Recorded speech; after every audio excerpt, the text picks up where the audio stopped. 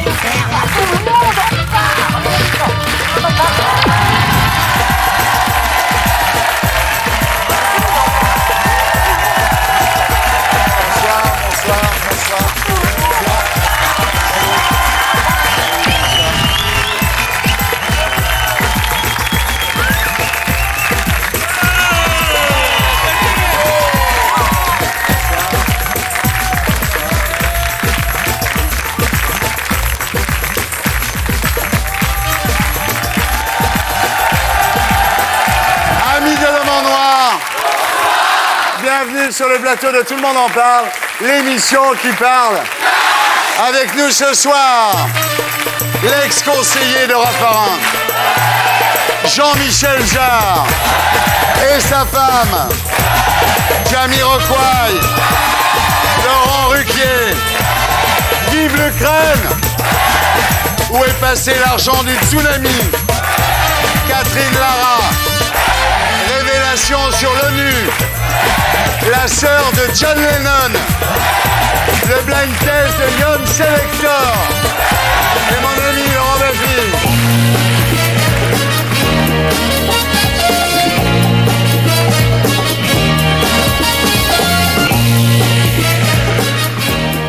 Comment ça va? Merci pour cet accueil chaleureux. Il n'y a plus d'applaudissements maintenant? Non, mais je crois que les gens m'ont jugé à ma juste valeur, c'est bon. Ça va et toi, Thierry?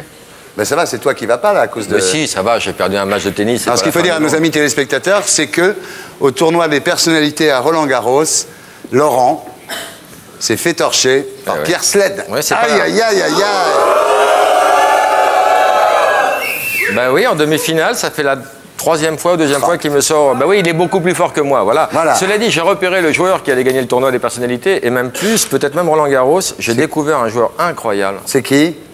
Serge Calfon, mesdames, messieurs. Regarde ce style.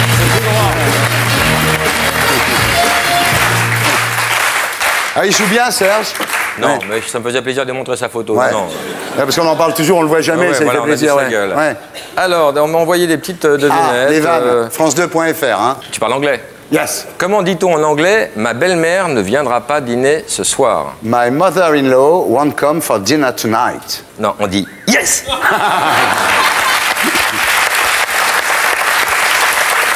C'est moi qui réponds. Ouais. Et euh, c'est un couple qui. Une petite blague, c'est un couple qui baise et, et la, la femme elle dit à son mari Chérie, dis-moi des trucs sales. Et lui dit le salon, le garage, la chambre de. Ah, celle-là, elle est bonne.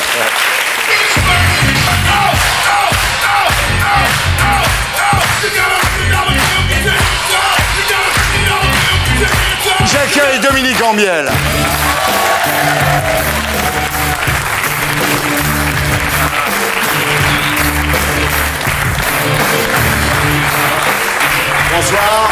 Bonsoir. Bonsoir Dominique, bienvenue. Bonsoir Thierry. Bonsoir. Alors Dominique, vous êtes né le 6 juin 1954 à Paris. Quand vous étiez gosse, vous rêviez de faire du cinéma, de la radio, de la télévision, de la chanson. Mais vous commencez par être gaulliste à Agnières à l'âge de 15 ans. Que s'est-il passé?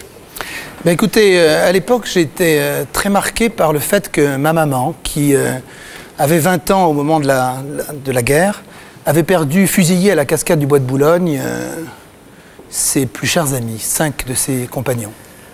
Et euh, 24 ans après, alors que en 44 des jeunes mouraient pour leur patrie, les événements de mai 68 m'avaient heurté. Je trouvais qu'au fond c'était un peu une révolution pour rien. C'était presque des états, des états d'humeur. Et, euh, et je me suis dit à ce moment-là, certainement il y a des choses, il y a des aspirations, mais est-ce que ça justifie tout ça Ouais. Et à ce moment-là, je suis devenu gaulliste. Alors à 20 ans, vous êtes euh, professeur de lettres au collège Sainte-Croix de Neuilly. C'est pas des lycées faciles non plus. Hein. Non, c'est un collège de banlieue. Ouais. Vie difficile, Dominique. Parallèlement, donc, vous continuez votre engagement en politique. Vous faites partie des jeunes giscardiens. Pardon, mais c'est pas antinomique, jeune et giscardien, il n'y a, pas- il y a pas comme une... c'est- la question que Michel Rocard à l'époque m'a posée. d'ailleurs. Il m'a dit comment peut-on être jeune, giscardien et faire de la politique autrement? Ouais. Eh bien, on a essayé. Et qu'est-ce qu'il a fait Giscard quand même? Il a baissé la majorité à 18 ans. Ouais. Ouais. Il a fait, il a libéralisé l'avortement. Il a fait la loi sur le divorce. Je vous rappelle quand même qu'à 25 ans dans ce pays, on ne pouvait pas divorcer sauf pour faute grave. Personne ne s'en souvient de ça. Si, si, on s'en rappelle. Il a donné pas- la sécurité sociale aux artistes. Ouais. Voilà, donc il a fait de la politique autrement. Ouais. Voilà. Il a monté une petite bijouterie, pas mal. Mais la valeur n'était pas terrible. hein. Juste pour finir, on s'est bien fait chier avec lui quand même. Euh, moi, j'étais adolescent sous Giscard. C'était pas drôle Quel ennui, c'était au-delà de ça. Bah, C'est parce qu'il fallait venir aux jeunes giscardiens, Laurent. Ah oui, C'était assez pas drôle. Les campus, les d'été étaient sympas. Ah bon? Ensuite, vous quittez l'enseignement pour ne plus faire que de la politique. Et vous n'abandonnez pas la politique quand vous devenez directeur du développement du société Expand, groupe de, de télévision, qui devient rapidement le premier fournisseur des, des chaînes françaises. Vous partez de ce groupe euh, suite au rachat par euh, Vivendi via Canal pour devenir conseiller du Premier ministre euh, Jean-Pierre Raffarin, conseiller pour la communication. Et puis, dans la nuit du 19 au 20 avril 2004, vous êtes victime de ce que vous appelez dans votre livre une étrange affaire. On vous accuse de fréquenter une jeune prostituée roumaine, ce qui amène votre démission. D'ailleurs, je dis d'ailleurs que Thierry Ardisson me téléphone euh, ou m'écrit un mot tout de suite, me téléphone, me laisse un message en me disant ça pue la merde. Ouais, absolument. Et effectivement, et je, je crois avoir démontré ça, donc euh, je ne vais pas y revenir. Non, non, mais- Simplement, elle monte dans ma voiture, ça dure 18 secondes. Je lui demande de descendre euh, au feu rouge suivant, et à ce moment-là, il y a un contrôle de police qui se passe tout à fait bien, puisqu'on dit qu'il n'y a aucune infraction, qu'il n'y a absolument aucun problème, et ça devient une affaire d'État seulement 24 heures plus tard. Voilà. Donc, ceci entraîne votre démission, votre retour dans le giron de la télévision. Oui, enfin, je démissionne. J'avais décidé de reprendre mes activités de producteur de télévision le 1er juillet. Ouais. Et pour ne pas gêner Jean-Pierre Raffarin, parce que c'était naturellement pas moi la cible, Dominique Ouais. Ambiel, on m'avait pas pris le pantalon baissé dans une rue de Paris. Donc, euh, c'était pas, c'était pas, c'était pas moi la cible, c'était naturellement le Premier ministre qu'on cherchait à atteindre au travers de moi. Et donc, je me suis dit que partir tout de suite était la meilleure façon de déconnecter Ouais. la cible. Et d'ailleurs, ça a duré trois jours. Trois jours après, plus personne n'en a parlé. Absolument. Après le moment où j'étais plus avec Jean-Pierre Raffarin, plus personne n'intéressait plus personne. Et j'ai donc pu diriger la société de production que je dirige aujourd'hui avec six semaines d'avance par rapport au calendrier prévu. Voilà. Alors le 24 mars 2005, vous publiez chez Plomb un livre qui s'appelle Fort Matignon, où vous donnez votre version de l'affaire, où vous racontez les coulisses, les manipulations, enfin bref, la, vie à Matignon. Alors c'est assez intéressant, vous, vous dites Raffarin le courage. Vous pensez que c'est vraiment le mot qui définit le mieux Jean-Pierre Raffarin? C'est le courage. Il a fait des réformes que personne ne voulait faire. Les retraites, par exemple.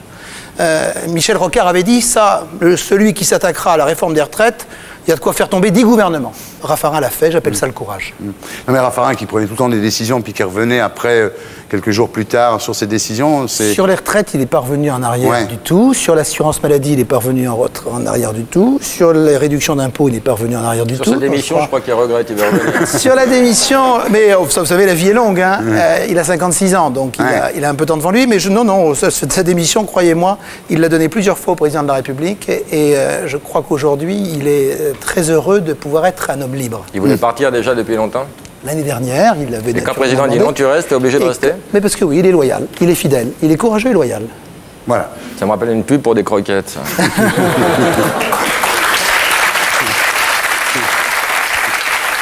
Bien. Alors vous parlez, Dominique, du, du courage de Raffarin, des bourdes des ministres, alors ça vous dites qu'ils qu'ils en font tous, notamment d'aller s'encanailler chez Ardisson.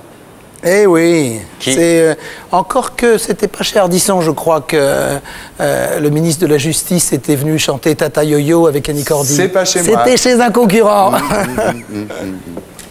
Alors, vous racontez des trucs incroyables quand même. Les interventions que vous faisiez quand vous étiez à Matignon, par exemple. C'est-à-dire qu'un jour, euh, il y a l'Express qui fait un titre Raffarin, la fin. Et vous vous appelez en demandant qu'on change le titre. Quand Non, même. je ne demande pas que je change de titre. Je, je pose la question, je dis attendez, est-ce que c'est pas bien On est en automne 2003. Je vous rappelle qu'il vient de quitter le gouvernement, on est en mai 2005, donc euh, ils avaient un peu d'avance, Raffarin à la fin. Je dis est-ce que vous ne croyez pas que ça serait bien quand même de poser la question simplement? Effectivement, ils ont mis un point d'interrogation. Ils ont eu raison. Je pense que je leur ai rendu un grand service. Non, mais ça, ça se passe comme ça. C'est-à-dire que le, le conseiller en communication du Premier ministre le appelle les communication- propriétaires des journaux en disant dites à vos journalistes de changer non, le titre de leur non, pas journal. du tout, pas du tout. Le conseiller en communication du Premier ministre, il fait son boulot. Ouais. Quand, par exemple, au moment de la canicule, euh, une chaîne de télévision qui est celle sur Ouais. laquelle nous sommes, diffuse des images du Premier ministre euh, en bras de chemise dans les alpages avec des petites fiches à la main en disant Tenez, j'ai les numéros de portable des ministres et tout, alors qu'il y a 5000 morts, 6000 morts, 7000 morts, 8000 morts, qu'est-ce qu'elle croit, Madame Michu à Romorantin Elle croit que pendant que c'est une hécatombe de canicule, le Premier ministre est en bras de chemise dans les alpages. Or, ces images ont été tournées 10 jours avant alors que la canicule n'a pas commencé. Ça, j'appelle ça de la malhonnêteté. Ça, et le rôle et le job Ouais. du conseiller en communication du Premier ministre, c'est dire ça, c'est pas Ouais. normal. Appelez l'Express, qui est un journal indépendant qui appartient à M. Dassault, pour qu'il change le titre. Mais, et, et quand euh, M. Colombani appelle le Premier ministre pour lui Ah dire euh, euh, il faudrait que euh, les 500 000 euros qu'on pourrait avoir pour éviter le crack financier au bord duquel il faudrait que vous le débloquiez tout de suite, qu'est-ce qui se passe? Enfin, le journal Le Monde, là. Oui, le journal Le Monde. Hum. C'était il y a 15 jours. Trafic d'influence. Ils font tous ça. hein. Non, c'est pas du trafic d'influence, c'est- normal. Les, se- les, euh, lorsque, lorsque un patron de presse euh, est en situation de déséquilibre, il a intérêt, il a envie de sauver son journal, c'est normal. Et c'est normal, il fait feu de tout bois. Non, mais quand même, vous trouvez que c'est des méthodes, ça, d'appeler un journal indépendant? Vous trouvez ça normal, peut-être? Je sais pas. Mais je trouve euh, normal de faire son métier. Chacun fait son métier. Ils sont pas obligés de vous écouter, c'est quand ce que je- vous allez Mais bien sûr. Oui. mais c'est normal. Ils qu'on vous ont pas complètement écouté, ils ont mis un point d'interrogation. mais j'ai la pas fin. demandé qu'ils disent pas Raffarin à la fin. Ouais. J'ai dit, est-ce que vous croyez, la seule chose que j'ai Ouais. faite, c'est que j'ai appelé Rudy Roussillon, en effet, à l'époque, et je lui ai dit, est-ce que vous trouvez normal d'écrire que Raffarin, c'est fini? Est-ce que vous croyez que c'est vrai? Et si dans six mois ou dans un an, il est toujours Premier ministre, est-ce que vous croyez qu'on on fera, on donnera une interview à l'Express Ouais. C'est tout. Ouais. C'est, mon boulot, c'est mon job de faire ça. Tu pourrais nous avoir la couverture de Télé 7 jours pour la semaine prochaine Non Je peux arranger ça. Alors, vous parlez de Villepin dans votre bouquin. Alors, c'est drôle parce que c'est c'est un livre qui, évidemment, a été écrit avant que Dominique de Villepin euh, soit Premier ministre. Vous parlez, par exemple, de l'affaire Marie-L, la fabulatrice du, du RER, qui a fait croire à un attentat antisémite. Vous trouvez qu'il a réagi euh, d'une façon un peu adolescente, un peu puérile? Non, je, vous savez, je parle de pas mal de manipulation dans ce livre et je parle de, euh, des coulisses du pouvoir. Et dans les coulisses du pouvoir, il y a un certain nombre d'acteurs qui ont euh, parfois des motivations euh, qui sont très obscures. Je ne suis pas sûr que les rapports qui ont été donnés à Dominique de Villepin alors qu'il était ministre de l'Intérieur étaient des rapports extrêmement précis. Ah oui. Et je ne suis pas sûr d'ailleurs que lui-même, on ne l'ait pas conduit à faire ce communiqué très rapidement, trop rapidement, alors qu'en fait c'était une affabula- affabulatrice. Car on a su depuis, on a appris depuis, que très vite, un certain nombre de services, de police, je crois de justice aussi, se doutaient de la-. Ouais. Mais on ne l'a pas dit, apparemment. Donc ça n'est pas remonté jusqu'au ministre de l'Intérieur, qui naturellement, compte de l'émotion soulevée, a fait le communiqué qu'il a fait. Donc, ce que vous en sous-entendez là, c'est qu'on essaie de le planter, en fait. Mais ça arrive tous les jours. Oui, oui, oui. J'en raconte plein dans oui, ce livre. plein, plein, plein. Bien, alors, l'interpellation de Didier Julia, si vous, vous le reprochez à, à Villepin. Oui, l'interpellation de Didier quand- quand Julia, il il rentre, il rentre d'Irak, euh, à ce moment-là, des policiers se présentent et le demandent de le suivre. Didier Julia, il dit, je suis député, je suis Ouais. parlementaire, Ouais. vous êtes gentils messieurs, c'est quoi? Et donc, il, euh, il les envoie promener. Hmm. Et euh, voilà, c'est tout. Et puis aussi une attitude très anti-américaine chez Villepin. Ah, mais ça, c'est sûr que Dominique de Villepin a euh, un côté euh, gaulien, un côté résistant, Hmm. un côté la France d'abord. Bon, et d'ailleurs, ça, ça a été très important au moment de la guerre en Irak. Ouais. Alors, ce qui est sûr, c'est que tous les jours, euh, on travaille avec les Américains. Et qu'aujourd'hui, à Washington, les, euh, les réactions à la nomination de Dominique de Villepin ne sont pas forcément enthousiastes. Mais peut-être que c'est pour ça qu'il y a Nicolas Sarkozy dans le gouvernement. Parce que ça contrebalance, parce que fina- finalement, Nicolas Sarkozy, c'est l'ami des Américains. Ouais.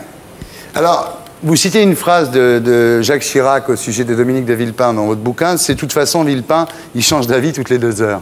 Bah, c'est pareil, c'est pareil que ce qu'il a dit. Il a dit ça, oui. Ouais. Mais Vous l'écririez maintenant, Il ça, maintenant qu'il est Premier ministre oui. bien sûr, pourquoi? Attendez, pourquoi? Il faut avoir peur Non, non, non, faut pas avoir peur, mais enfin, c'est pas très. Comme Chirac, c'est quand même le grand soutien de Villepin. Le fait qu'il dise ça, c'est pas énorme quand même. Jacques Chirac, il a des collaborateurs qui, le- euh, qui lui sont fidèles, Mmh. Villepin est de celui-là. euh, et quand on a des collaborateurs qui vous sont fidèles, on connaît leurs défauts et leurs qualités. Ouais. Je, trou- je trouve ça quand même inquiétant. Il l'a nommé Premier ministre et quelqu'un dont il pense qu'il change d'avis toutes les deux heures, c'est peut-être pas le meilleur choix, non? Bah, il, a un président, il y a un président de la République Ouais. et il y a un ministre d'État. Vous croyez que ce sera un bon Premier ministre, Villepin, sérieux? Écoutez, je pense qu'il a euh, le panache et l'audace. Mmh. Et euh, que surtout, il a la loyauté.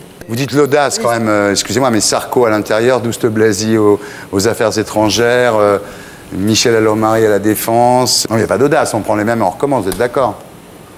Non, il y a des gens qui rentrent, des gens qui sortent, vous savez. Il y a des gens qui changent, quoi, des oui. gens qui changent, oui. Il y a Fillon qui est parti, ouais. oui, mais enfin bon, c'est Oui, pas non mais plus... d'accord, mais Comme d'habitude en politique, on est en plein dans la langue de bois. hein. Ouais. Non, mais. je- Non, mais c'est pas vous qui avez fait le gouvernement. oui, je- le Non, parce que Douste Blazy, les médecins, le fait qu'il soit à la santé, c'était pas idiot, un mec qui est médecin. Mais aux affaires Mais étrangères... Il a été à la culture et à la communication. Ouais, oui, c'est Donc, vrai. C'est bien d'être euh, étranger aux affaires. c'est- c'est- vous croyez pas que c'est quelque chose que les gens comprennent pas, ça? C'est-à-dire que les mecs passent d'un ministère à l'autre, ça veut dire qu'ils n'ont pas de compétences. Parce que Mais est-ce que. moi, je pourrais pas aller animer une émission animalière sur France Si 3, tu par pourrais, exemple. si tu pourrais, Thierry. Non, Ça dépend quel horaire et quels animaux, mais je pense que tu pourrais. Je crois. non mais... Vous- Vous pensez pas que ça participe au désamour des Français pour la politique de voir que finalement on s'échange les ministères comme ça, que c'est pas très grave après tout C'est le monopoly, c'est le risque. Je crois qu'il y a des compétences et je crois qu'il y a euh, une profession Ouais. en politique. Contrairement à ce qu'on dit, la politique, c'est un métier. Et donc, il faut savoir euh, construire, il faut savoir euh, faire des projets de loi, il faut savoir euh, diriger un ministère, il faut savoir euh, maîtriser une administration. Et c'est vrai aujourd'hui que euh, quelqu'un comme Nicolas Sarkozy à l'intérieur, bah, il a la compétence. est- oui, qui- ça c'est sûr lui a qu'il été a la reconnue, compétence, ça a été sûr. acquise. Pour diriger les flics, c'est sûr qu'il a la compétence. Mais un, un mec qui est médecin, le mettre à la santé, c'est mieux que de le mettre aux affaires étrangères, non Je sais pas moi. Oui, mais peut-être, mais il est aussi, c'est un homme politique, c'est un homme national aujourd'hui. Ouais. euh, Philippe Douste-Blazy, c'est quelqu'un qui, euh, qui a le sens du contact. Donc je veux dire, voilà, il sait faire ça. Alors, quand Dominique de Villepin dit sur TF1 lors de sa première allocution, euh, en parlant de, de Raffarin, contre le chômage, tout n'a pas été fait. Est-ce que vous ne pensez pas que le fil de la loyauté est rompu, justement? C'est pas très sympa Mais- de dire ça. ça veut dire que Raffarin n'a rien foutu. Mais, c'est vrai que tout n'a pas été fait. C'est pas très sympa, Mais- quand même. Mais bien sûr, mais, mais rien, enfin, tout n'est pas fait. Heureusement que tout n'est pas fait. Il y a toujours des solutions à tenter. Bah, s'il y avait des D'ailleurs- trucs à faire, pourquoi il les a pas d'ailleurs- fait, alors D'ailleurs, je vais vous dire une chose. Lorsque euh, euh, on oppose le modèle social, ou le modèle de lutte contre le chômage Mm. euh, de Nicolas Sarkozy à celui de, de Dominique de Villepin, euh, qu'est-ce qu'est-ce que ça veut dire? Il n'y a que sur les plateaux de télé qu'il y a des top modèles. Mm. Je veux dire, en réalité, est-ce qu'il y a un modèle qui réussit partout absolument? En Angleterre, il y a un modèle qui fait qu'il y a 5% de chômage, et en Ouais. Suède, il y a un modèle qui est complètement inverse, qui fait qu'il y a 4% de chômage. Ouais. Donc ça veut bien dire qu'il faut essayer toutes les solutions, les unes après les autres, les unes à côté des autres. Donc euh, voilà, c'est tout. Tout n'a pas Et nous, été ça fait quoi 30 ans qu'on essaye des solutions là maintenant? Oui, et bien sûr, et oui, c'est Et vrai, chaque nouveau gouvernement Mais- redéfinit les, les priorités, c'est génial. Priorité, mais parce, que, mais, l'emploi. mais parce que la France est un pays qui a peur de bouger, qui a peur de changer, qui a peur du changement. C'est vrai. Parce que Alors- quand on change, quand on change, on sait euh, ce qu'on perd et on n'a pas toujours conscience de ce qu'on va gagner.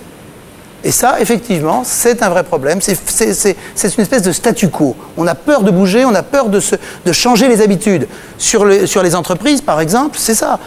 Quand j'entends dire que la modification du Code du travail risque d'aboutir à du chômage, c'est peut-être vrai dans certaines grosses entreprises multinationales, mais dans une PME, moi je dirige une PME, croyez-moi, l'emploi dans une PME, c'est une fierté.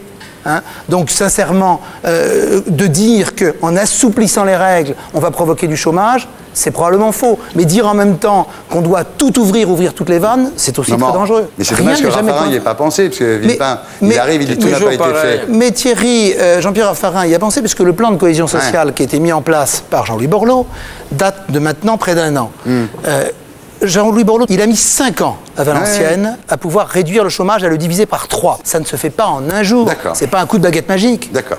Alors, dans votre affaire, là, de- dont on parlait tout à l'heure, dont on va pas parler toute la soirée, mais quand même, vous, vous, vous dites que Villepin n'a pas été étranger à cette affaire. Mais j'explique cela, je l'ai expliqué, euh, vous le lirez dans le livre. J'ai expliqué très précisément les questions que je me pose, son directeur de cabinet qui ne me dit rien, alors que deux heures après, je suis convoqué par les flics.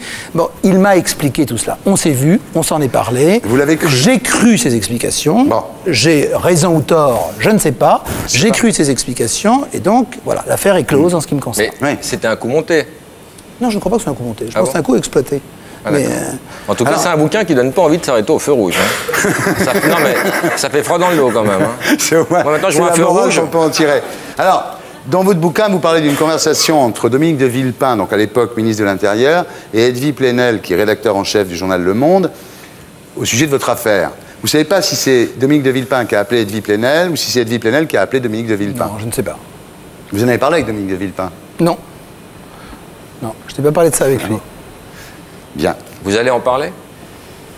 C'est une affaire qui est passée de point de Vous l'avez soupçonné quand même à un moment, Villepin. Non, je me suis posé la question de savoir pourquoi, alors qu'il n'y a rien, que les rapports de police disent aucune infraction n'est constatée, devant l'absence d'infraction caractérisée, nous avons invité à M. Ambiel à repartir après les vérifications d'usage. Euh, je me demande pourquoi je suis convoqué 24 heures Bah après oui, oui, par la police, alors que rien ne se passe. En général, c'est, euh, Ouais. c'est, euh, c'est- ça remonte tout de suite, dans les deux heures qui suivent, s'il y a vraiment un problème. Et que je déjeune avec son directeur de cabinet et qu'il ne me dit rien. Alors voilà, bon. Et c'est vrai il que- m'a expliqué, il m'a donné l'explication. Il m'a dit, il m'a dit en fait, euh, euh, quand il part pour déjeuner avec toi, il n'y a pas d'affaire. Hmm. L'affaire démarre après au ministère de la Justice. Voilà. Donc, euh, je, Et c'est vrai que tu as insulté les flics en disant tirez-vous, c'est moi qui vous paye. qui pas vous- du tout. Non Pas du tout. J'ai d'ailleurs j'ai été relaxé d'un outrage à agent, c'est-à-dire qu'on a considéré qu'il n'y avait aucun propos euh, attentatoire ça, à l'honneur. limite. Parce que ça arrive pas que de temps en temps certains policiers euh, disent des choses que vous leur dites et qui ne sont pas vraies? Non, moi j'ai confiance. Non, est-ce que Dominique de Villepin, vous ne trouvez pas un peu trop ami avec Nicolas Sarkozy euh? Thierry Ardisson. Ouais. J'ai, euh, moi, milité à l'époque pour ce qu'on appelait la guerre contre le TSS. Vous savez, vous ce que c'était le TSS Ah, Tout sauf. Sarkozy. Tout sauf Sarkozy. Ouais. Et euh, à l'époque, Jean-Pierre Raffarin avait dit Moi, je suis pour le TSD, tout sauf la division. Ouais. Alors, je ne vais pas pleurer Ouais. si le président de la République a décidé de nommer Dominique de Villepin et Nicolas Sarkozy côte à côte. C'est TSD, tout sauf la division. Au fond, c'est un bel hommage à. Jean-Pierre Raffarin. Vous pensez que c'est un problème que Dominique de Villepin n'ait jamais été élu? Écoutez, euh, vous savez, un, un- un homme politique, il est euh, d'abord euh, au service de son pays. Raymond Barre, il n'avait jamais été élu. Ouais. hein, euh, quand il est devenu euh, Premier ministre. Ouais, il était Georges Pompidou, ouais. qui est devenu euh, Georges Pompidou était chez Rothschild, lui, oui. Mm. Puis président de la République, il n'avait jamais été élu. Il a été élu après. Donc euh, c'est pas un critère absolument euh, de compétence ou de qualité. Non, c'est Sarkozy qui dit ça. c'est- C'est ce qu'on dit que Sarkozy dit. Ah non, non, non, je l'ai vu le dire. Non, Ah, non, vous l'avez vu vu dire à la télévision. Qui dit que Sarkozy l'a dit Il a dit que c'était Dominique de Villepin? Non, il n'a pas dit que c'est Dominique de Villepin, Ah. mais il a dit que c'est mieux d'être élu quand on est Premier ministre. Non, il n'a pas dit ça. Ah bon Il a dit quoi Il a Qui dit lui a dit qu'il avait dit quoi qu'il rendait hommage à ceux qu'il avait dit, qui étaient élus Ouais. par les électeurs et qui savaient le prix d'un combat électoral. Alors, on en arrive maintenant à, à des choses plus sérieuses, à la doctrine, parce que souvent on reproche à Jacques Chirac de ne pas avoir de doctrine. Alors aujourd'hui, en termes de doctrine, euh, justement le chômage, euh, Villepin, c'est le traitement, disons, social, disons, du chômage. Sarkozy, c'est le traitement libéral du chômage. Sarkozy il pense qu'il faut que l'économie marche bien, et mieux l'économie marchera, moins il y aura de chômage. Villepin, lui, il va nous refaire les emplois jeunes, quoi, en gros. Pourquoi vous dites ça? Pourquoi tu dis ça? Parce que c'est ce que j'ai compris. je, je ne crois pas. Dans le domaine économique comme dans le domaine social, on n'est pas sur un plateau télé, il n'y a pas de top modèle. Il n'y a pas un modèle et pas un autre. Je pense que euh, c'est en permanence euh, l'idée qu'il faut à la fois balancer entre l'initiative, faire en sorte que la machine ne se grippe pas, euh, ne, se, ne se bloque pas, et puis la solidarité nécessaire pour les plus fragiles. Alors Dominique de Villepin, il incarne ça. Ouais. Il incarne ce côté de prudence, de faire attention à ne pas euh, mettre en cause la solidarité avec les plus fragiles, ce que certains ont appelé le modèle français. Ouais. Nicolas Sarkozy, il dit, de son côté, est-ce que c'est le modèle français que euh, les 35 heures, que Ouais. euh, le chômage de masse, que 10 ministres des Finances en 10 ans, que euh, tout, tout ce qui, tout ce qui fait qu'aujourd'hui, bah, la machine ne fonctionne pas comme elle devrait fonctionner. Ouais. Et donc, on a besoin à la fois d'appuyer sur l'accélérateur, mais en même temps de contrôler la voiture. L'immobilisme Voilà. hyperactif. Est-ce que vous ne croyez pas que, faute d'avoir une doctrine claire, on a choisi deux mecs qui en ont une chacun et elles sont antinomiques et que ça ne peut pas marcher parce qu'ils vont tirer chacun dans Mais un je, sens. je crois que raison, le fait, raison, il je a crois raison. que le fait de se dire qu'on veut ressusciter les idéologies, c'est contraire à ce que les gens pensent aujourd'hui. Ouais. Hmm. Les idéologies en isme, c'est fini. Le libéralisme pur contre le marxisme ou le communisme, c'est fini. Les gens ont dit que c'était fini.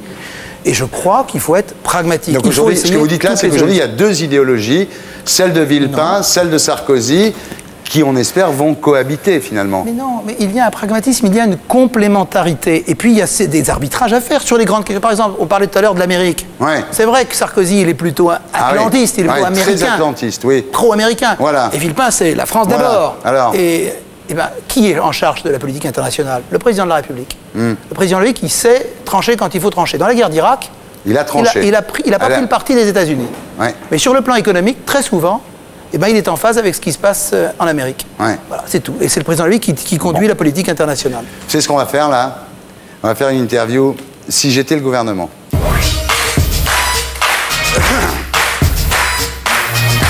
Alors Dominique, si vous étiez le gouvernement, vous feriez quoi pour que les Français retrouvent confiance dans la politique? Je leur dirais qu'il y a une phrase de Talleyrand qui était terrible, qui disait quand on s'engage en politique, on croit qu'on va résoudre les problèmes, et quand on fréquente les allées du pouvoir, ben, on s'aperçoit qu'il ne s'agit pas de les résoudre, mais de les faire durer. Ouais. Et ben, il faut se battre contre ça. Et pour, il faut s'engager en politique, il faut croire à la politique, parce que la vérité de la politique, c'est de résoudre les problèmes des gens. Donc il y a une notion de temps. Et il y a une notion de temps. Donc les 100 jours de Villepin, ça veut dire quelque chose. Oui, c'est pas assez. C'est pas assez, oui, parce qu'en plus c'est l'été, donc il se passe pas grand-chose l'été. Vous feriez quoi pour que les Français croient en l'Europe encore plus? Moi, je- simplement, je leur dirais que quand on est, euh, quand on est tout seul, on est plus fragile. Et quand on est euh, à 24 ou à 25, on est plus fort. L'Europe, c'est que la valeur de la somme, elle est supérieure à la somme de nos valeurs individuelles. D'ailleurs, je le dis à tout le monde, dimanche, pensez à voter, c'est important. hein. Il y a un deuxième tour. Vous feriez quoi pour faire croire aux Français que vous les écoutez si vous étiez le gouvernement? Je les écouterai. Vous feriez quoi pour donner de l'espoir aux RMistes Je leur dirais qu'on peut travailler plus pour gagner plus. C'est ce qu'a fait euh, Jean-Pierre Raffarin euh, sur les 35 heures. Il a eu le courage de le faire. Et, euh, et puis surtout que quand on met le pied sur une marche, il faut essayer de mettre le pied sur la marche supérieure. Ah, c'est ça. Alors parfois c'est difficile. Et je vais vous dire, Je m'arrête à la première marche. quand et je vais vous dire, mais, mais oui, c'est pour ça qu'il est toujours avec Thierry Ardisson. Mais je le disais, je disais Laurent, mais J'avance pourquoi, pas. pourquoi tu n'animes pas Ben une oui, émission Parce que je m'arrête à la première seul marche. Quel con. Ah, j'ai eu un déclic Mais ce soir. Je vais le produire. Et pour relancer la consommation, vous feriez quoi? Il mangerait comme quatre. Je ferai ce qu'a fait Jean-Pierre Raffarin, je continuerai à baisser les taxes, les charges et les impôts. Ah oui, les impôts ont baissé. 13 milliards. Par personne, c'est énorme. 13 on se rend milliards d'euros. 13 milliards d'euros en 3 ans. C'est beaucoup. Ah oui. Personne ne le sait, Non. ça. hein. Florent Pagny me l'aurait dit, je comprends pas. Il ne sait pas, Florent. Il ne sait pas. Vous feriez quoi, Dominique, pour réduire le déficit budgétaire de la France? 1000 milliards. Bien, ce qu'a fait Jean-Pierre Raffarin déjà, puisque chaque année, il a Ah. Progressivement, depuis compte, 3 hein. ans. Il y a Jean-Pierre Appareil dans chaque phrase, t'as vu? réduit- Non, non, Il a on fait un pari avec un pote, je suis sûr. On se rendait pas compte à quel point c'est Jean-Pierre Raffarin. Attends, je, je tente un truc. C'est quoi ta couleur préférée Comme Jean-Pierre Raffarin. Non, 1000 milliards. Non, comment on fait pour rembourser, là Aujourd'hui, sur ce que produit la France, 55% des dépenses sont des dépenses publiques. Ouais. 45% les dépenses de chacun d'entre nous, c'est-à-dire les dépenses des privés des ménages Ouais. et les dépenses des entreprises après impôt. Donc c'est clair qu'il faut rééquilibrer ça. Et la seule façon, c'est de faire maigrir un peu l'État. C'est-à-dire que Et Jean-Pierre Raffarin. Maigrir. Qui le glisse à la fin quand même. Il l'a fait, ça, Jean-Pierre Raffarin? Il a fait en sorte qu'on réduise progressivement euh, Ouais, le on poids des remplace pas dépenses les fonctionnaires qui partent à la retraite, Et quoi, il ouais. y a un certain nombre de fonctionnaires qui n'ont pas été remplacés. Ouais. Et pour combler le trou de la Sécu, qu'est-ce qu'il faudrait faire? Je crois qu'il y a une réforme qui a été mise en place et qu'il faut, euh, qu'il faut accompagner. On aurait pu, euh, pour réduire le trou de la sécurité sociale, augmenter ce qu'on appelle la CSG, c'est-à-dire un peu plus d'impôts. Ah, il n'y a pas assez d'argent, bah, on en prend un peu plus à chacun et comme ça on équilibre le trou. Là, on a dit, il faut essayer de se responsabiliser un peu. Ouais. Euh, Sur une consultation, vous payez un euro chacun. Ouais. Et puis il faut faire attention à ne pas avoir des médecins à tout bout de champ. Les médicaments, par exemple, bah, il faut mieux acheter ce qu'on appelle des médicaments génériques, Oui. des produits génériques. ça commence à marcher, d'ailleurs. Et ça commence à marcher. Ouais. L'autre jour, j'étais chez un pharmacien, j'entends Ouais. quelqu'un demande- Non, mais j'ai un remplacement, Quelqu'un qui demandait du Mopral. Elle dit, mais je vous donne pas ça, mais c'est pareil, c'est un Ouais. produit générique. Et ça coûte 5 euros de moins. Voilà. Voilà. C'est des mesures pratiques. Ça marche, ça Et ça commence à Il a marcher. commencé à baisser le trou de la 300 Sécu millions d'euros Ah, d'économie. C'est dommage que Douste Blazy s'en aille à ce moment-là, s'occuper des affaires étrangères. Faudrait quoi pour que les pauvres soient moins pauvres C'est. euh, Ils sont de plus en plus pauvres, les pauvres. hein. D'abord, d'abord, il y a un vrai, il y a un vrai problème, c'est l'euro. C'est clair, c'est que les gens ont ce sentiment-là, c'est Ouais. que les gens ont le sentiment que euh, l'euro les a appauvris. C'est vrai. C'est, euh, c'est un peu vrai, parce que c'est vrai, hier, quand vous disiez euh, ça coûte 100 francs, c'était cher. Aujourd'hui, 15 euros, on a l'impression Hmm. Ouais, que c'est pas cher. 15 Et en- euros, et une en salade réalité, dans la rue, c'est 15 mis- euros. Mis bout à bout. On a eu des salades fait dans la rue, toi. hein. Toi aussi, Donc- Romain. donc, euh, donc, les bananes. Donc, donc, je crois qu'il faut faire ce café Jean-Pierre Pierre Raffarin. Augmenter le SMIC, Ouais. comme il ne l'a jamais été depuis 20 ans, Ouais. de 13% en 3 ans. C'est-à-dire l'équivalent d'un 13e mois. Ça n'avait pas été fait depuis 20 ans. Mais ce Jean-Pierre Raffarin. ça- Formidable. Mais Non, non. pourquoi il n'est pas Premier ministre Je vais te je vais te dire un truc. Je regrette qu'il soit parti maintenant. Mais Thierry, Ouais. vous avez entendu ce qu'il a- revenir. vous avez entendu ce qu'il a dit? Je regrette qu'il soit parti maintenant. Mais qui? Moi, je pensais, je pensais qu'on dirait cette phrase-là dans 6 mois, dans Ouais. 8 mois, dans Ah ouais. un an. Mais ce qui est un peu dommage, c'est que vous étiez chargé de sa com. Et que c'est ce soir Quoi, il que finalement on apprend tout ce qu'il a fait. Donc vous ne pensez pas qu'il y a eu un déficit En de fait, j'aurais, en, fait, en fait, j'aurais dû venir chez Thierry Ardisson plus tôt. Oui, mais vous avez interdit au ministre de venir. Et ça, c'est pas une bonne Si. idée. Je vous le dis Si, si. comme ça. Connerie, L'idée de dire au ministre, n'allez pas dans les talk shows, vous les envoyez dans les émissions politiques qui font pas d'audience. Et vous le savez parce que vous, vous faites de la télé. je suis un Oui. garçon loyal. Oui. Et donc, euh, il y avait une, une, une- un principe qui était celui euh, de la présidence de la République qui consistait à dire que les ministres faisaient leur boulot dans les émissions qui étaient destinées Mais à parler personne ne les politique. regarde. Je suis d'accord avec vous, Connerie. Je raconte dans ce livre, Oui, oui. lorsqu'en 1982, Coluche arrive sur le plateau de Michel Drucker, en plein contrôle d'échange, vous vous souvenez, on avait interdit d'emporter une carte bancaire à l'étranger. On n'avait pas le droit d'emporter sa carte de crédit à l'étranger, ouais. sous le gouvernement Mauroy. Ouais. Coluche, il arrive sur le plateau de Drucker avec une vache derrière lui. Et un Drucker dit Qu'est-ce qui se passe Je pars en vacances en Espagne et comme j'ai pas le droit d'emporter ma carte de crédit, j'emporte de quoi bouffer. Ouais. Et en fait, il a fait beaucoup plus que tous les discours d'hommes politiques, Voilà. parce qu'il est dans une émission de divertissement, de variété, et où il a touché le cœur des gens. Donc je suis d'accord avec vous, Thierry Ardisson. Non, il y a deux trucs, on va pas faire la soirée là-dessus. Il y a deux trucs que j'ai pas compris. C'est un, pourquoi les ministres en exercice n'avaient pas le droit de venir ici, par exemple, où ils auraient pu s'expliquer devant des gens euh, jeunes, euh, dynamiques, et pas Sympa. seulement les gens qui regardent les émissions en politique à la télévision. Et la deuxième chose, c'est que pendant les deux mois qui ont précédé le référendum sur l'Europe, le les parler. hommes politiques ont été interdits. Ici, on n'a pas eu le droit d'en parler, Connerie, ce qui est ça. ridicule. Franchement, euh, voilà. C'est- C'est à ce moment-là qu'il fallait en parler. C'est à ce moment-là qu'il fallait en personne n'a parler. rien Donc, compris. on n'en a pas parlé pendant temps deux mois, maintenant on en parle, mais c'est trop Mais tard, je, voilà. je suis un homme de télévision aussi, et je suis d'accord avec Thierry Ardisson et Laurent Baffy sur ce sujet.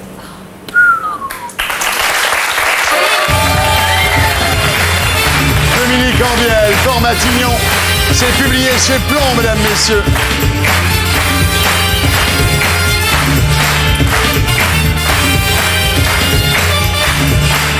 Dominique, merci d'avoir été avec nous. À bientôt Merci, pour de nouvelles aventures.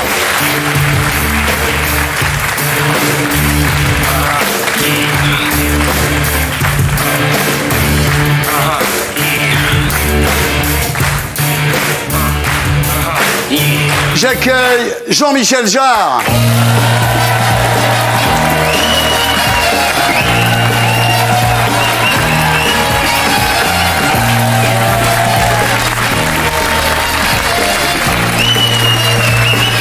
Bonsoir, bonsoir. Bonsoir. Jean-Michel Jarre, bonsoir.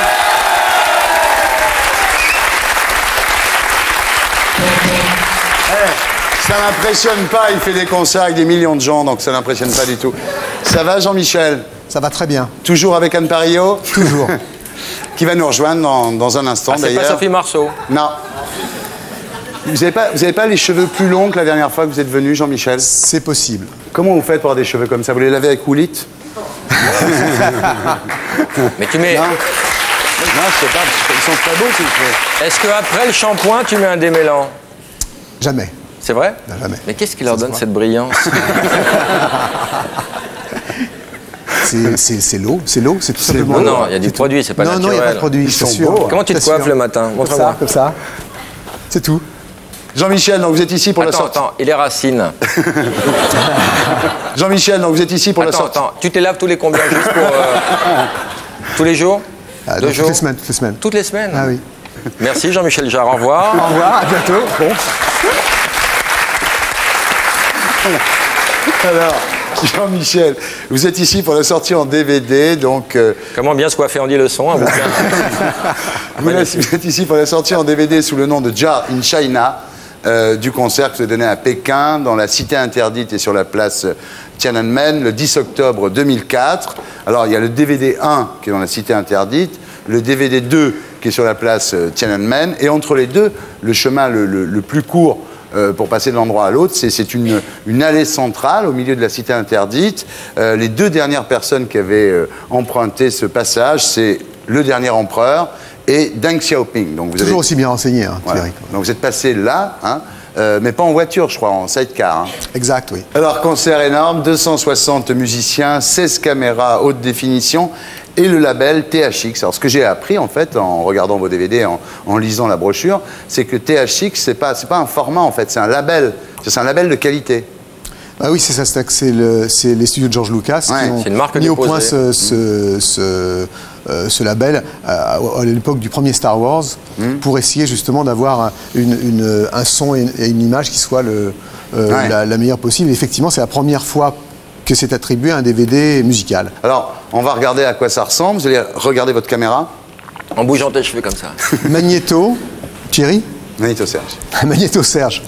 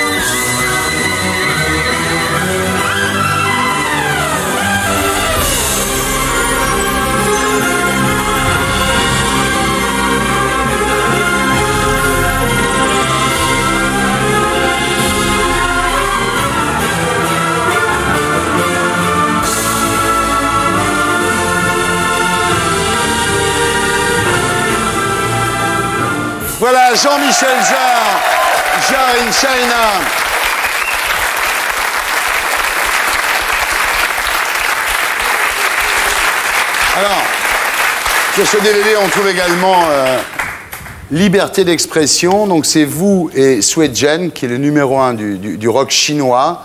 Celui qui, en 1989, au moment du mouvement étudiant, avait chanté euh, sur la place Tiananmen avec un bandeau rouge euh, sur les yeux. Alors, dans le DVD, on le voit répéter la chanson de Piaf, La Foule, hein, dans, un studio. Et ensuite, on vous voit lui expliquer que vous n'êtes pas sûr de pouvoir le faire monter sur scène. Effectivement, il y a eu un veto des autorités euh, chinoises. Mais, mais ça, c'est dit nulle part, quand même, là, dans, le DVD.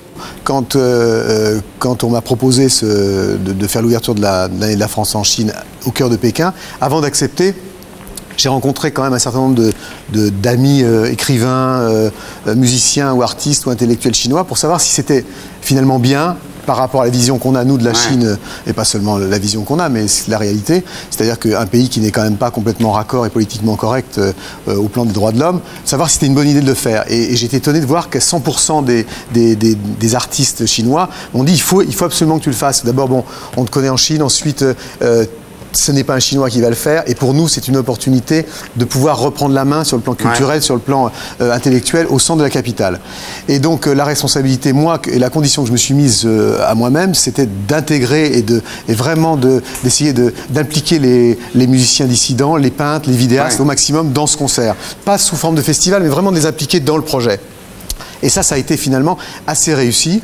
Euh, on a effectivement négocié euh, pied à pied jusqu'au bout, et que sur, le- sur les trois musiciens effectivement qui, étaient avec moi sur scène, euh, qui étaient tous les trois très impliqués dans les événements de 89, un seul n'a pas pu n'a pas pu être là. Et ils me l'ont expliqué d'ailleurs. et finalement, je l'ai reconnu, c'est que il y a une différence entre aller faire des concerts comme ça, comme ça, et puis et puis de faire un concert dans un cadre extrêmement formel avec devant les membres du gouvernement qui seront pris à la télévision en direct en train de l'applaudir, etc. Donc, donc finalement, euh, on, on a, on est tombé d'accord qu'il serait sur le DVD, qu'il serait sur le- la retransmission Internet, mais que deux autres musiciens, notamment la, la fille qu'on vient de voir jouer, qui, est- qui était une des, des grandes euh, chanteuses et, et joueuses de, de, de, de héros chinois, euh, qui a été la, femme du leader étudiant en 89, euh, soit là. Donc euh, je pense que je pense que c'est bien aussi de, comprendre aussi le, fait que bon bah finalement sur trois il y en a deux qui étaient là et puis évidemment bon le fait de dire liberté égalité fraternité en chinois en direct à la télévision euh, était euh, finalement un pari euh, réussi et, les objectifs que je m'étais fixés et qu'on s'était fixés je pense étaient parfaitement réussis. Et je crois que ça pose la question de savoir est-ce qu'il faut aller dans un pays comme la Chine est-ce qu'il faut aller euh, euh, s'exprimer? Est-ce qu'il faut aller jouer? Est-ce qu'il faut aller montrer ses films? Est-ce qu'il faut aller... euh, et, et la réponse, à mon avis, est évidemment oui. Puisque vous y êtes déjà allé, mais Reporters sans frontières était opposé à ça, et vous l'avez dit d'ailleurs. Oui, et je, je trouve que c'est une erreur. Je pense qu'il faut arrêter d'avoir cette espèce de- de- d'arrogance, souvent, ou de boycott mou, qui fait que, euh, au bout du compte, en ce qui concerne les Chinois, les Chinois quand même se fichent un peu de, de- de l'opinion de la France. Et je crois que c'est pas une solution. Je crois qu'il faut, il faut être astucieux. Il faut venir euh, à l'intérieur du Faire de pays, le comprendre. c'est-à-dire vous y allez, Oui, et et puis, puis voilà, et puis Pour noyauter le système. Ouais. ce qui est à signaler quand même, c'est que ce- c'est la première fois que la télévision chinoise a retransmis euh, un concert en direct sans coupure. C'est qu'ils auraient très bien pu me, me couper aussi quand, euh, quand j'ai j'ai fait euh, Liberté, Égalité, Fraternité en chinois sur le place Tiananmen. C'est vrai qu'ils auraient tout à fait pu le, Ouais. le- le couper. Ils ne l'ont pas fait. Alors, Isabelle Adjani, bon, on va pas revenir là-dessus, c'est- plein de votre attitude, Jean-Michel, voilà, on en a déjà parlé. Euh, Il y a quelqu'un d'autre qui récemment ici s'est plaint de votre attitude? C'est Jean-Pierre Raffarin. Non. Ça m'a fait du bien de leur dire. Un point, à chaque fois un point. ah oui Et si on essayait de placer le plus souvent possible Jean-Pierre Raffarin? C'est ça C'est le but du jeu. Tu marques un point à chaque fois. Tu Mais fais le les faire- comptes, Frédéric? faut le faire habilement. Hein. Euh, Il y a quelqu'un d'autre qui récemment ici s'est plaint de votre attitude? C'est Patrick Juvet qui s'est bon plaint que vous l'avez laissé tomber. en- Comme une merde, il a dit. Après une histoire d'amour, il dit, m'a laissé tomber. Et, et- et ces malheurs apparemment viennent de là. S'il est dans cet état-là, Patrick Juvet aujourd'hui, je savais pas moi. Non, C'est parce non que plus, vous l'avez- vous l'avez suis- vous l'avez abandonné. Je suis très, bah, je suis très, très Oublié comme une valise à la consigne. Voilà, lamentable. absolument. Je savais pas. ce Il dort à côté du téléphone. Qu'est-ce qui s'est pas passé? Qu'est-ce qui s'est passé sérieusement? Vous étiez très proche à un moment et... Bah, euh, Plus que proche. Que ce soit, que ce soit, que ce soit Patrick Juvet ou Christophe ou d'autres, je veux dire qu'effectivement, j'ai travaillé avec eux, on a travaillé ensemble, on a. Mm. fait deux albums, euh, on, est, on a toujours été très bons amis, euh, et lui, évidemment. il, il y mettait une dimension Ah, mais il aurait dû se- il aurait- affective, voire amoureuse, que vous mais ne mettiez il aurait pas. dû s'extérioriser plus, ça Ouais. aurait, ça aurait peut-être changé mon destin, mais enfin, en tout cas, ça n'a pas été le cas. Vous êtes quand même un peu un bourreau des cœurs, quand même. Hein Bah, je sais pas. ah bah si. ah bon C'est vrai qu'à l'école, vous aviez déjà des maîtresses. Bien. Vous êtes toujours avec Anne Pario. Bien sûr. On va voir quel type de mec vous êtes, euh, Jean-Michel Genre. On va faire une interview vérif.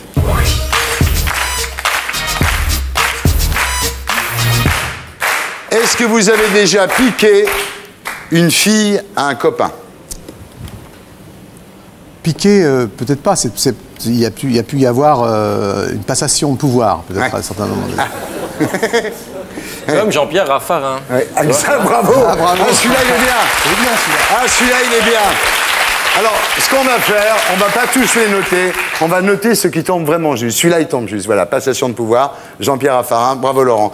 Est-ce que vous avez déjà trompé votre copine alors qu'elle était enceinte De Jean-Pierre non. Raffarin. Non. Non, non, non, Je l'ai tenté. Non, ça Je marche l'ai tenté. pas. Non, mais il marche pas. Pourquoi il a jamais engrossé personne, Jean-Pierre Raffarin? Sa femme. Mais je n'ai Non. jamais eu de copine enceinte. Ouais. Donc vous n'avez pas pu, voilà. Donc d'accord. Vous avez déjà proposé le mariage à une fille en sachant que vous le feriez pas? Non. Vous avez déjà révélé que les seins d'une fille étaient faux? Révélé à qui? À d'autres J'ai bien une idée, mais ça va pas lui plaire. je, tente, je tente même plus maintenant. Vous êtes déjà barré de chez une fille avant qu'elle se réveille? Ah. Jamy, on dit la vérité à Titi. Jamy. Avant qu'elle se réveille. Bon. Non, je crois pas. Ah non Non. Est-ce que vous déjà... Jean-Pierre Raffarin.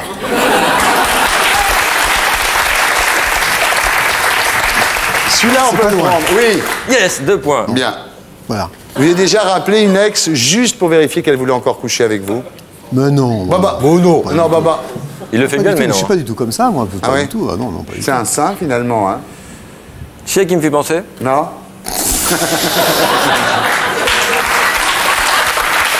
Je suis pas sûr, le Pas. Thierry, celui-là. Est-ce que tu as menti pendant cette interview? Pas du tout. T'as toujours eu une positive attitude quand même, hein? Jean-Michel Jarre, Jarre in China. Le concert de la Cité Interdite, le concert de la place Tiananmen.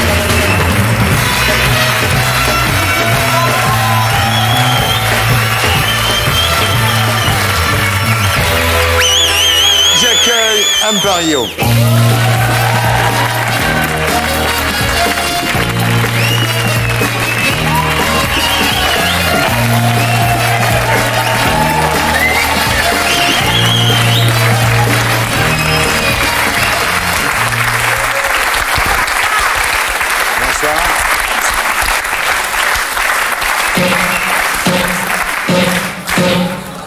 C'est la première fois que vous êtes réunis sur un plateau de télévision, non? Mais c'est le hasard, hein, il faut le dire. Ouais, en plus c'est le hasard. Ils ont parce pas que- fait tourner manège ensemble déjà? Non. Vous, vous deviez venir il y a, il y a trois semaines. Hein. Ouais. Peu, Il y a eu le mariage, tout ça. J'étais occupé. Voilà. Et puis Anne sort un film, donc c'est voilà. Bah, c'est tombé comme ça. C'est tombé comme ça. On n'allait pas faire le début de l'émission et la fin. Donc on... ouais. Ouais, on a fait ça avec euh, Laurent Gérard et Mathilde Seigné. Enfin, ils venaient de se séparer en même temps, mais c'était pas très. Vous préférez qu'on vous appelle Anne Jarre ou Anne Pario Euh, Anne Paris au Jarre. Anne Pario Jarre. Ah. Vous avez entendu l'interview au Vérif là juste avant? Il est formidable, ce- il a aucun défaut, Jean-Michel, hein, c'est incroyable. Il a jamais fait un coup tordu à une gonzesse. euh, J'en ai entendu que la moitié, hein, parce qu'entre-temps, on m'a fait descendre, donc je- ouais.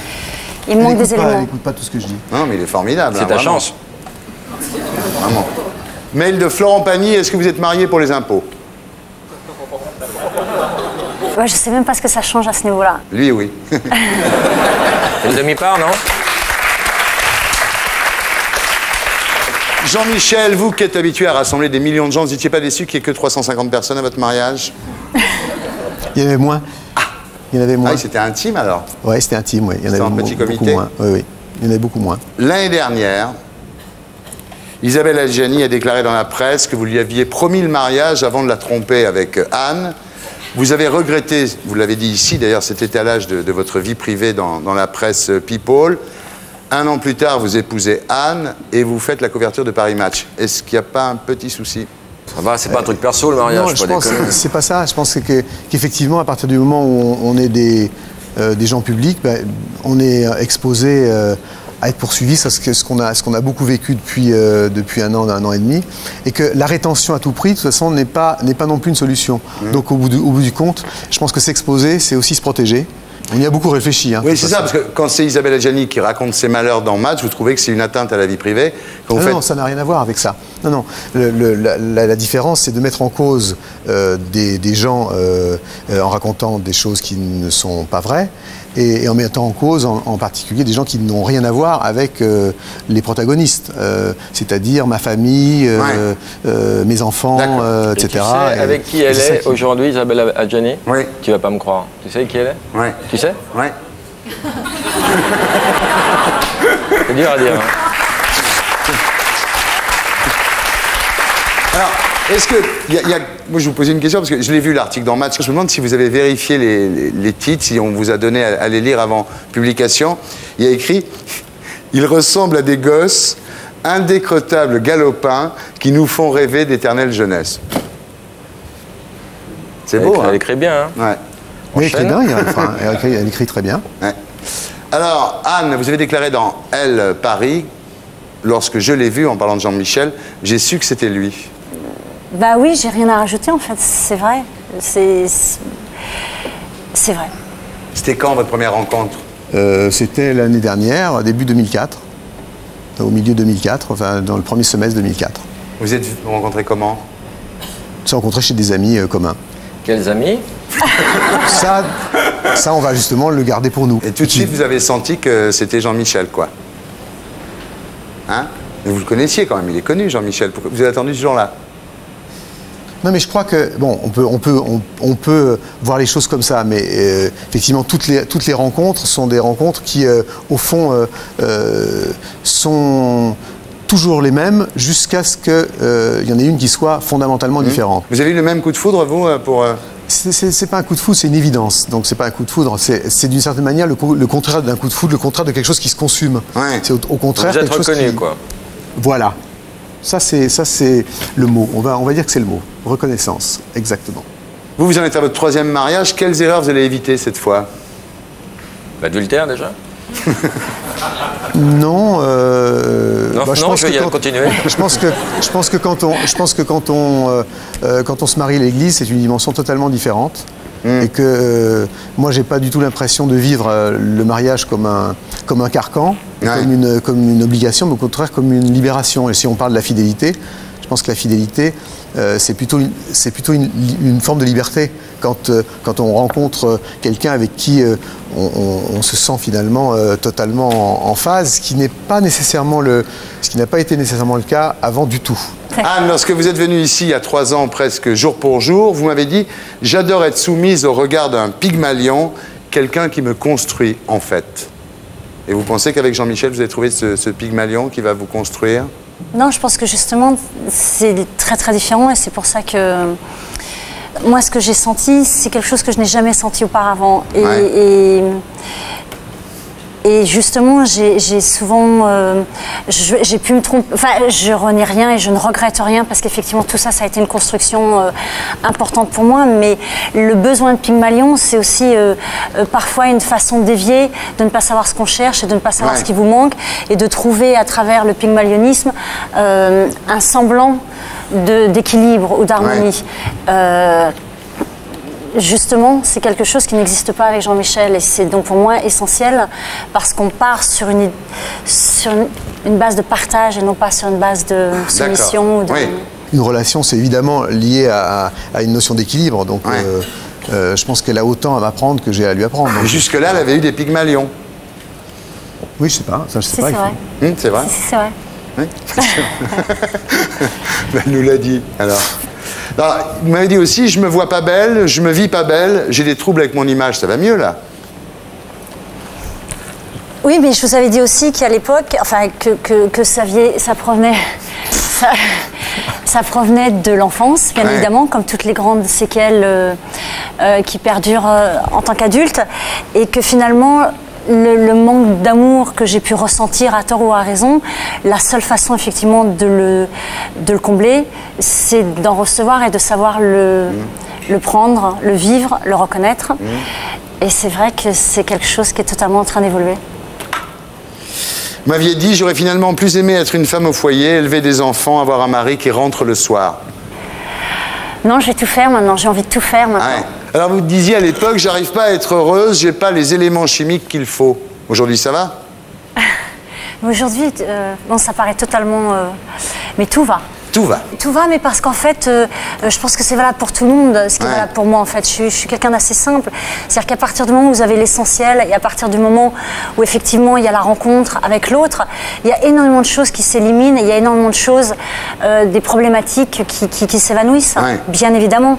Puisque d'un seul coup, vous, vous vivez à travers un regard qui est qui vous honore totalement. Au sujet de la fidélité dans le couple, vous disiez que vous n'y croyez pas.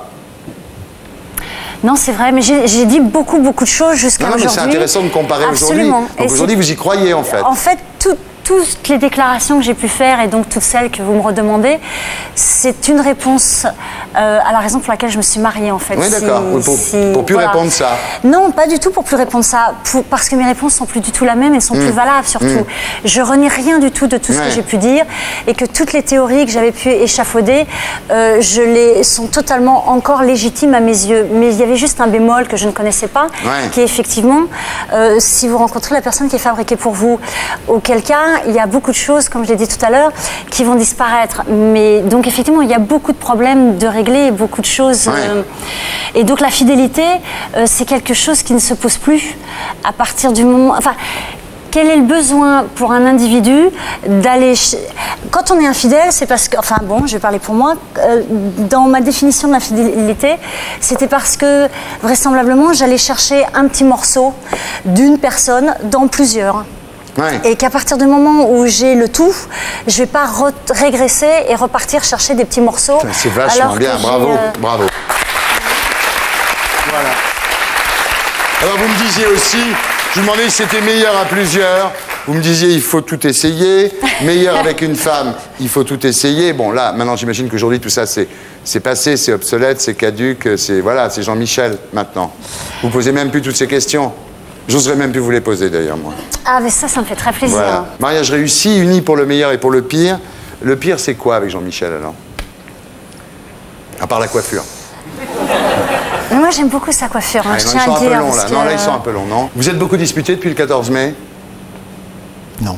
Non. Je vais faire une interview briseur de ménage.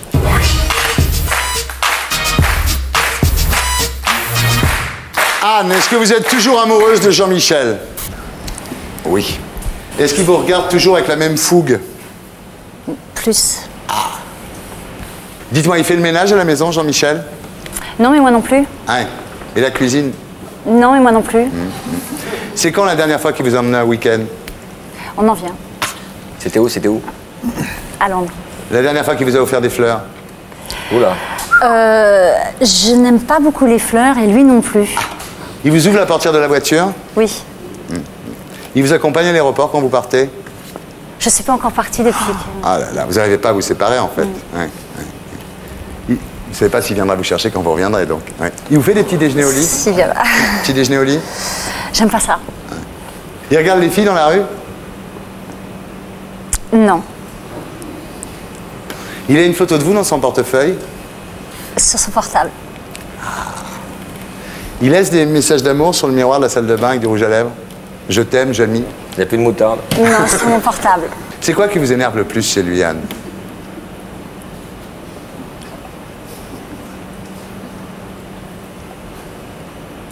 Tu l'as drogué, c'est pas possible.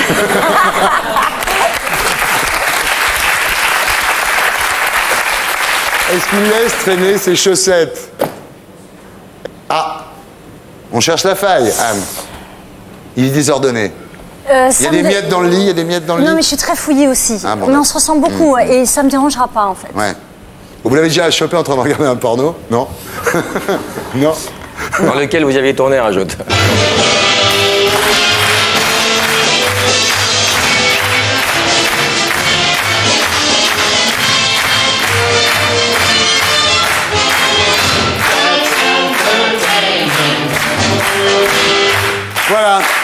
Alors Jean-Michel, euh, vous allez nous laisser seul avec euh, Anne Parillo.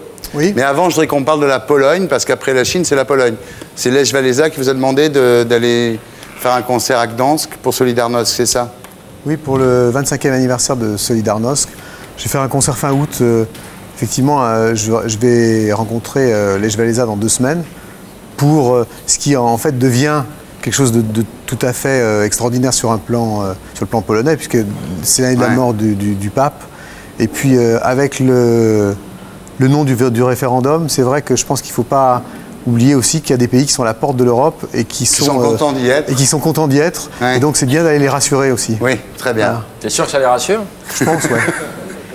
Merci Jean-Michel. Alors Anne, vous êtes ici pour un film qui s'appelle Deadline. C'est un film de Ludie Bucken et Michael Lerner avec Stéphane euh, Moyer qui sort le 8 juin euh, 2005. Alors le pitch, c'est un jeune reporter un peu arriviste qui débarque à Beyrouth en 1983 au moment où des camions suicides euh, font sauter des bases américaines et des bases françaises, le fameux immeuble du Drakkar. hein. Et il rencontre une mystérieuse photographe, euh, jouée par vous, et il comprend à ce moment-là euh, qu'il lui faut choisir entre la, la frime des fausses coupes et la, la vérité du journalisme. Oui, c'est un film sur les mani- la manipulation médiatique. Voilà. Alors, en faisant ce film, vous avez pensé que si vous aviez 20 ans, euh, leur passion vous aurait donné envie de partir, vous aussi.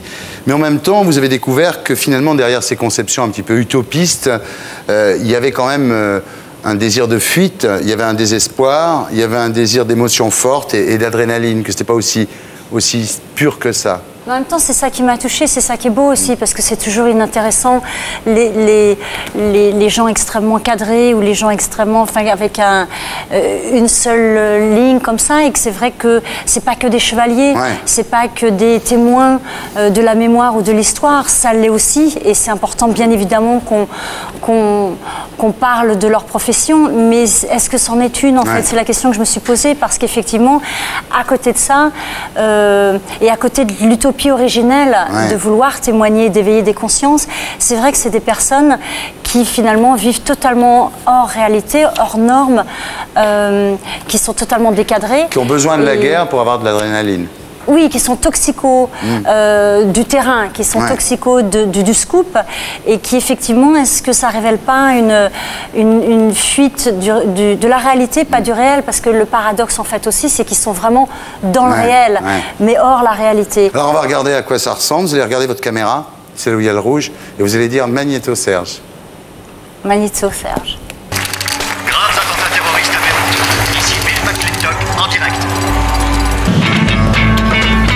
3 heures pour faire un méga reportage dans un pays où je viens d'arriver. Alors aide-moi. Euh, Félix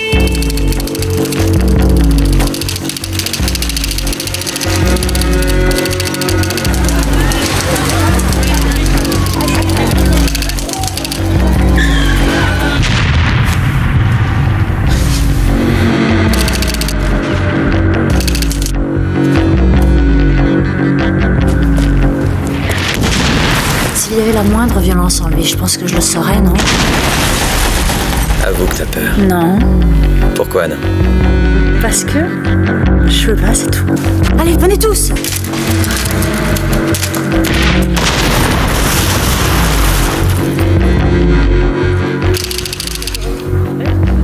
Combien ils t'ont payé pour m'avoir intoxiqué?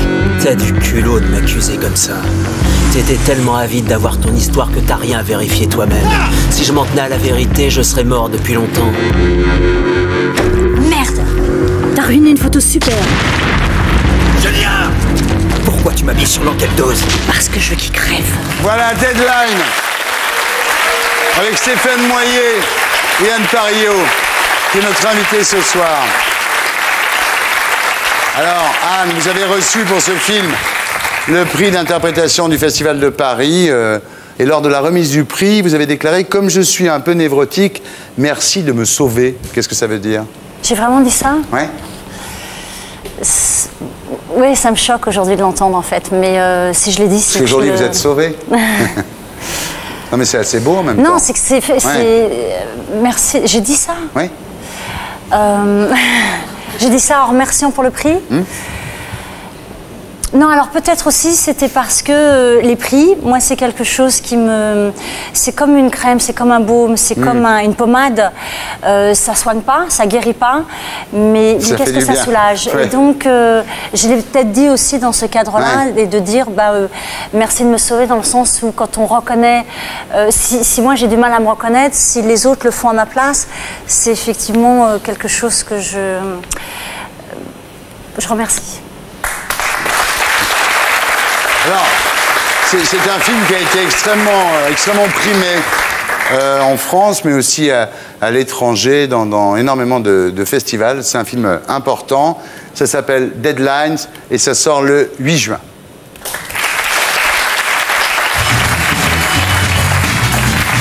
Et ça, c'est la bande originale du film. Deadlines, la vérité est dangereuse.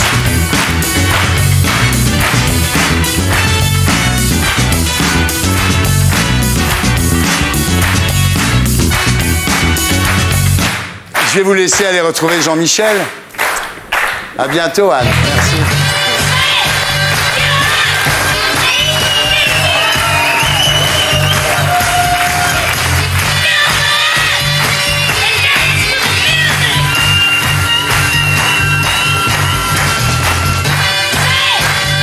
J'accueille Jamiroquai. Bonsoir.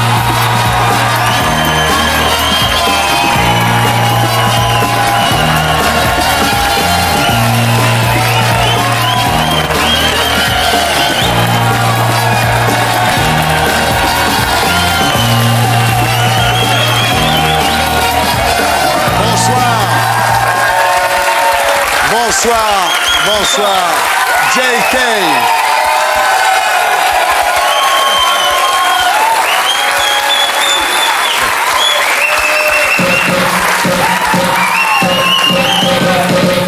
Bonsoir JK, le leader du groupe Jamiroquai. 20 millions d'albums vendus et quand on écoute, on comprend pourquoi. Didier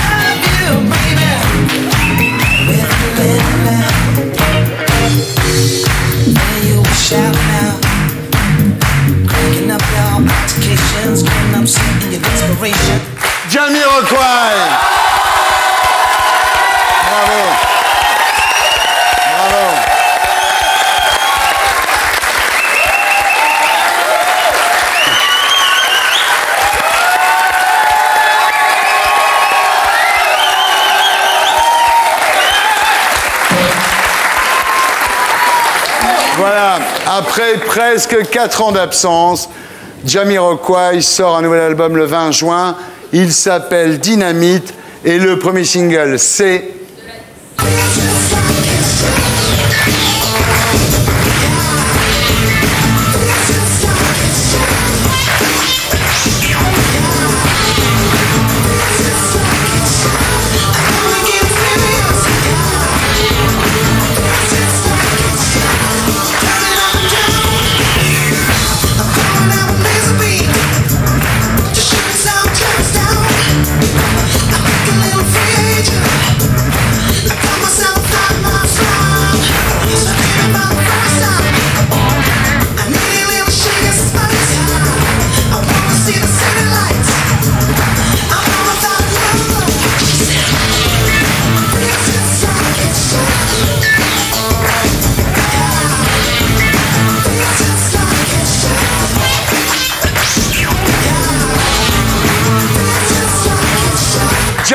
Feels. Feels just like it should. Extrait de son nouvel album qui s'appelle Dynamite, voilà. Alors je n'ai pas réussi à joindre Orlando, mais je suis sûr qu'il exige le clip. So, please, Jamiroquai, est-ce que vous pouvez regarder votre caméra, celle qui a la lumière rouge, et vous dites Magnéto Serge. Magnéto Serge. Magneto Serge. Bravo.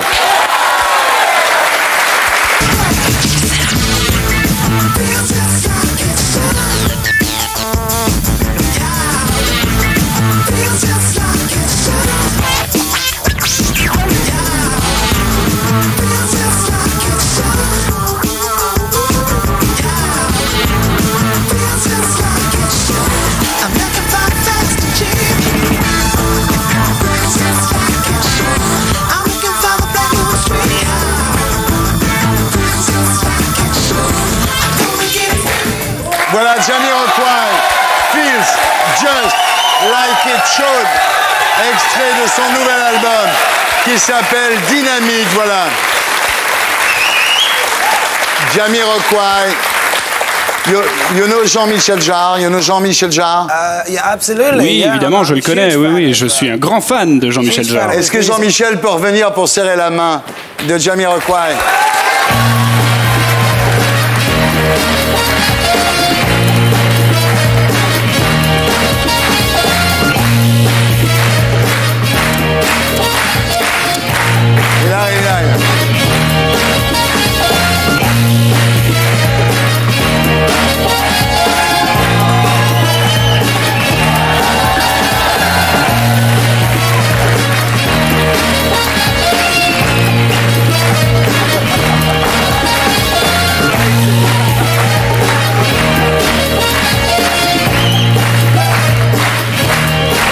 Jean-Michel, Jamiroquai vient de dire qu'il était un grand fan de, un grand vous. Est-ce que vous êtes un grand fan de lui? Oui, absolument. Bah, c'est, vraiment quelqu'un qui, est- a un, un- un style totalement particulier, qui, où on- je pense qu'on se retrouve, c'est qu'il a une manière de traiter le son qui est Ouais. totalement unique, dans, dans, dans un- dans une catégorie de musique totalement différente, mais, mais euh, c'est avant tout du son, Jamiroquai. C'est pour ça que depuis le départ, moi, c'est, quelqu'un ouais. qui m'a branché, mais immédiatement. Indépendamment de son, son talent de performeur et de, au niveau du son, c'est vraiment quelqu'un qui, qui immédiatement s'est, s'est décalé euh, par rapport à, à- à tout un genre de musique qui existait et qui en a fait euh, une patte, euh, qui en est- il a eu une patte unique, quoi. Très particulier. ouais. Très Ok, particulier, il, te connaît, d'accord, mais do you know Jean-Pierre Raffarin? Pas mal. Ça fait un, ça. Tu peux le noter, Frédéric, celui-là. Alors, Jamiroquai, quand on s'interroge sur cette grâce que vous avez dans la, dans la composition musicale et dans l'interprétation vocale, en fait, on, on trouve la réponse dans votre biographie. Votre mère, Karen Kay, euh, s'est lancée à 14 ans dans une carrière de chanteuse de jazz. À 17 ans, elle était sur la même scène que les Beatles, que Ronnie Scott ou Dizzy Gillespie. Euh, Est-ce que c'est finalement ça, c'est cette jeunesse baignée dans la musique qui vous a donné ce- cette grâce? Um, yeah, absolutely. I Oui, mean, absolument. euh, uh, huge Effectivement, euh, ma mère a eu une influence très importante sur moi depuis que j'étais tout gamin. euh, Moi, j'étais euh, dans le coulisses euh, et j'étais souvent avec les musiciens là et elle, elle s'occupait euh, euh, des musiciens ou des enfants des musiciens, ou, mais en fait, um, euh, vice versa quand elle était sur scène. Là, elle avait plus le temps de s'occuper de moi évidemment. Il y avait des, vraiment des, grandes, des grands groupes qui jouaient, euh, Diana Horn, Barbara Streisand, Washington, euh, euh, etc. Il y en avait. C'était vraiment là, tout le, son, tout ça, la musique que j'ai entendue qui va bercer mon enfance. Et donc, ça a été vraiment l'influence numéro un pour moi. C'est une très bonne école pour vous, effectivement. Et à l'âge de 4 ans, pendant un show de votre mère, vous entrez sur scène en criant Maman, maman, maman. Vous vous en souvenez de ça? Um, I, do remember that Oui, je because me um, rappelle parce que I actually remember uh, à running l'époque, through all euh, the je me rappelle très bien avoir euh, traversé euh, la- les danseuses. Bon, c'est pour ça Because peut-être I- que je j'aime autant euh, les, chaussures à l'heure who actuelle parce que j'étais toujours encadré de filles qui étaient grandes avec des grandes jambes, des grandes chaussures, qui avaient des grands cheveux, etc. C'est peut-être pour ça que je suis un peu fétiche question chaussures. Mais enfin bon.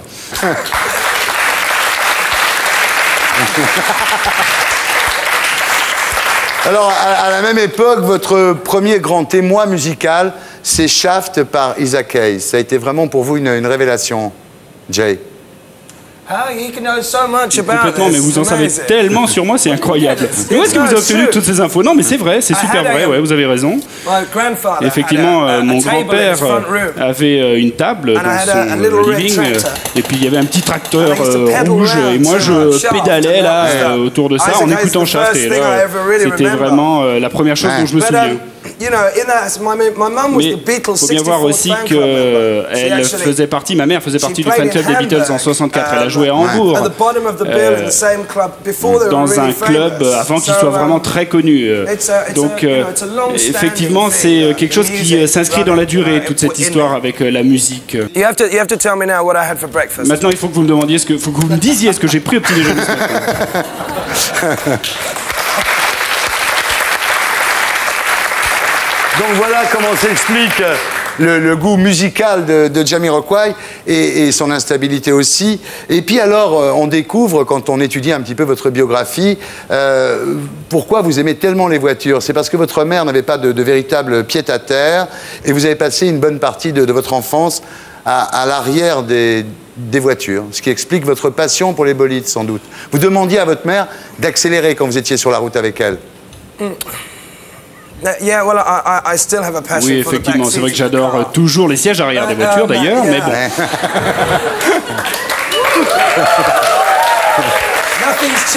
Mais bon, vous voyez, hein, ça change pas. euh. Uh, yeah, no, I was, I was, I was on est comme on basically est. brought up on uh, Et en fait, the effectivement, c'est vrai que j'ai grandi Um, euh, sur les and, uh, autoroutes. and this is Et donc, get euh, this, uh, c'est là love que c'est de là que me vient cet amour pour when les voitures.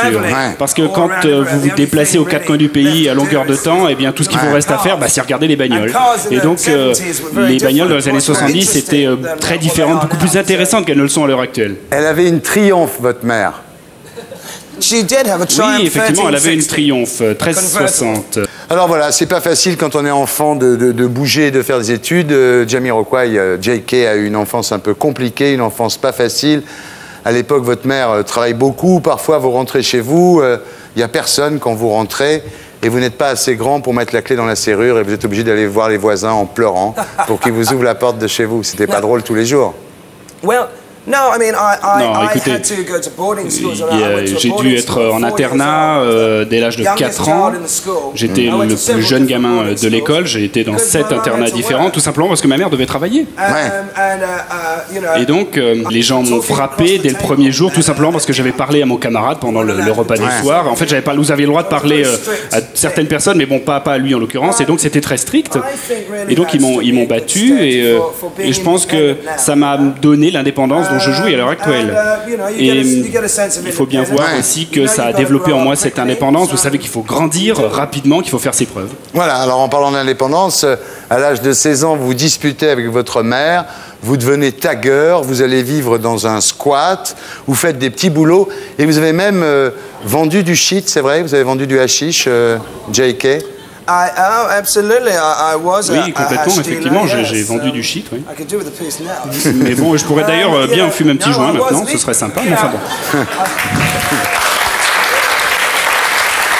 En fait, oui.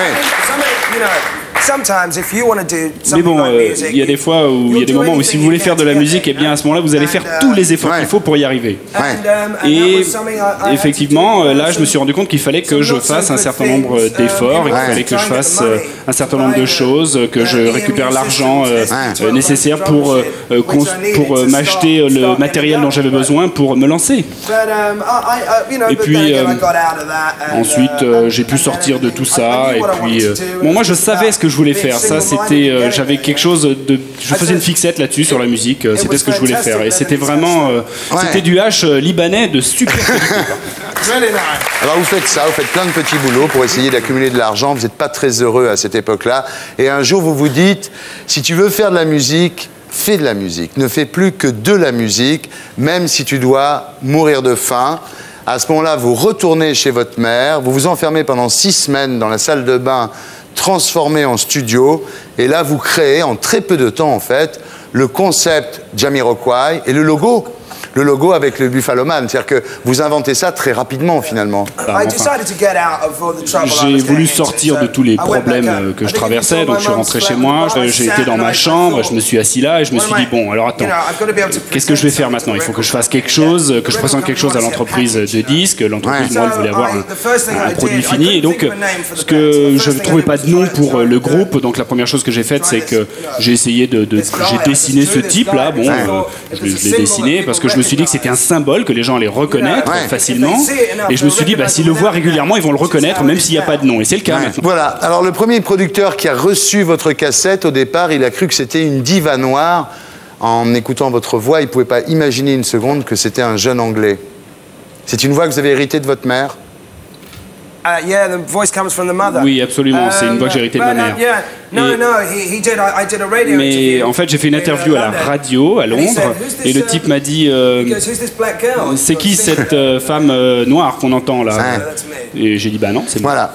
Et là, c'est le succès, un succès considérable et, et rapide. Vous devenez une star mondiale, vous devenez milliardaire et vous devenez aussi cocaïnomane. The whole band Je pense qu'on avait une vingtaine d'années, euh, le groupe a fortement grandi à rock and l'époque, euh, c'était les années there was rock and Jack roll, il y avait des filles, il y avait du Jack and, Daniels, de la vodka, euh, um, ça roulait donc euh, ça et parfois euh, il y a eu des petits débordements donc je pense que l'idée c'était pas trop d'aller plus loin, c'était pas pour arriver à monter sur scène, c'était simplement les, les autours de, de- les alentours de la scène.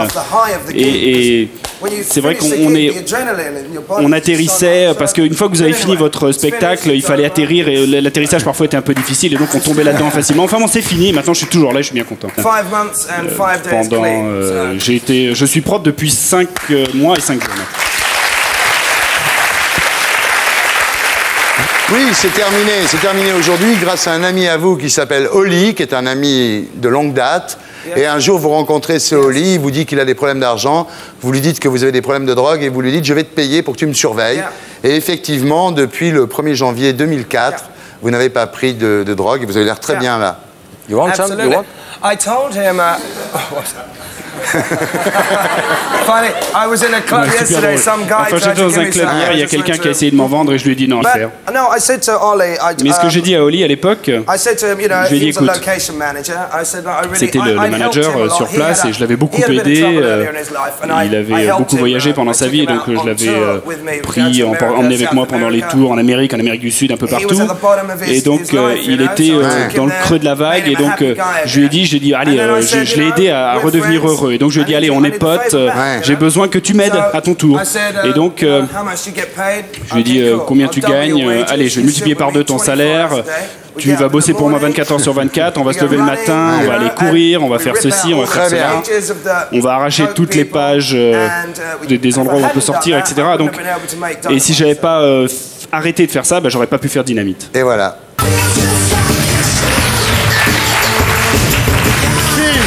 Just like it should. C'est extrait du nouvel album de Johnny Rockway qui s'appelle Dynamite, mesdames, messieurs. Alors, JK, de- de- depuis que vous avez arrêté la cocaïne, vous êtes beaucoup plus agréable avec les journalistes. The, uh, I mean, the, th- the thing is about the uh, En fait, ce English qu'il faut bien voir avec les paparazzi anglais notamment, c'est qu'ils sont vraiment hyper voraces. Et c'est vraiment une And meute obviously, there's a game to be endiablée. Et donc, They euh, wanna see you come ils out of veulent me voir sortir des clubs un peu comme ça. Uh, that's what they want to do. C'est ça qu'ils veulent voir, c'est ça la photo qu'ils veulent prendre. Et donc de temps a en temps, the euh, je leur and fous un petit pain dans la tronche happy et euh, uh, tout le monde est content. ouais. Alors, JK, vous êtes devenu un good guy, un bon garçon, et on va faire une interview good guy.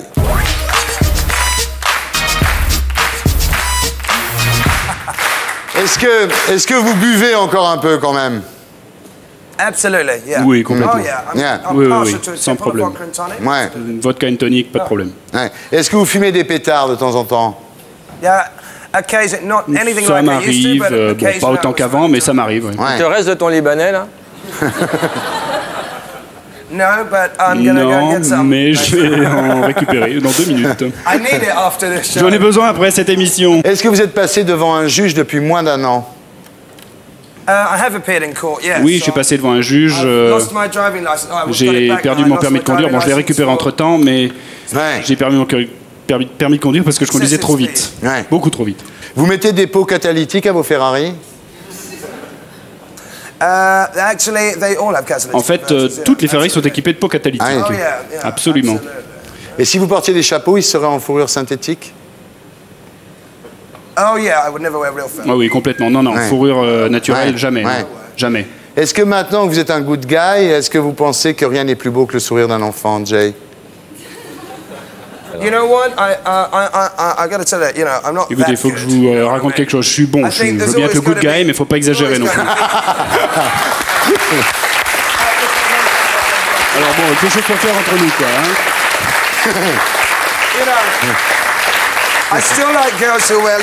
J'aime toujours bien les, euh, les minettes qui portent des mini-jupes et des, des bottes. Ah euh, justement, ben justement, est-ce que vous demandez toujours la carte d'identité d'une fan avant de coucher avec elle pour être sûr qu'elle n'est pas mineure?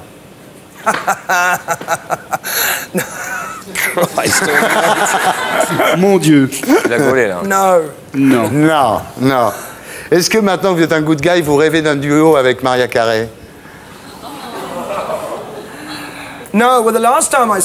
Non, la dernière fois que je l'ai vue d'ailleurs, elle euh, s'est pointée comme ça. Et elle est venue avec euh, tous les gens qui l'entourent. Et j'étais là dans le couloir et elle est venue, elle est passée comme ça. C'est une question que je fasse? Que je te fasse du baisement, ma grande? Est-ce que vous pensez que l'amour pourrait sauver le monde? Si on se débarrassait de George Bush et de Dick Cheney et de Donald Rumsfeld, eh ben, peut-être que là on pourrait sauver le monde. oui. Jamiroquai, Dynamite, l'album sort le 20 juin. Jamiroquai en tournée européenne cet été, le 21 juillet à Golfe-le-Champ, le 22 juillet à Nîmes, mesdames et messieurs.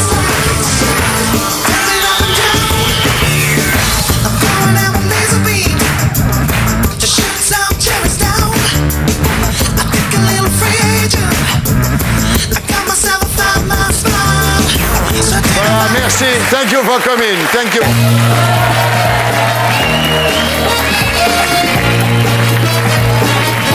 Ah non, non, non, non, non, non, non, non, non, non, non, non, non, non, non, c'est pas par là, c'est par l'escalier, Laurent. Par où?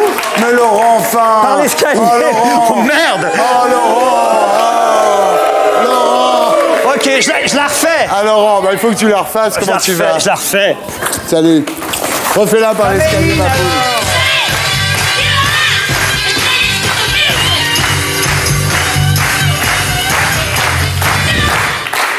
J'accueille Laurent Ruquier.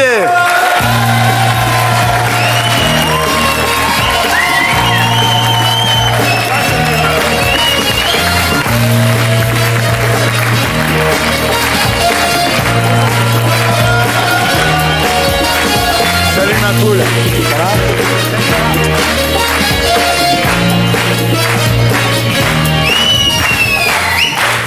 Comment ça va? Très bien. Ah, nous, on est crevés, hein Mort. Ah ouais. Mort.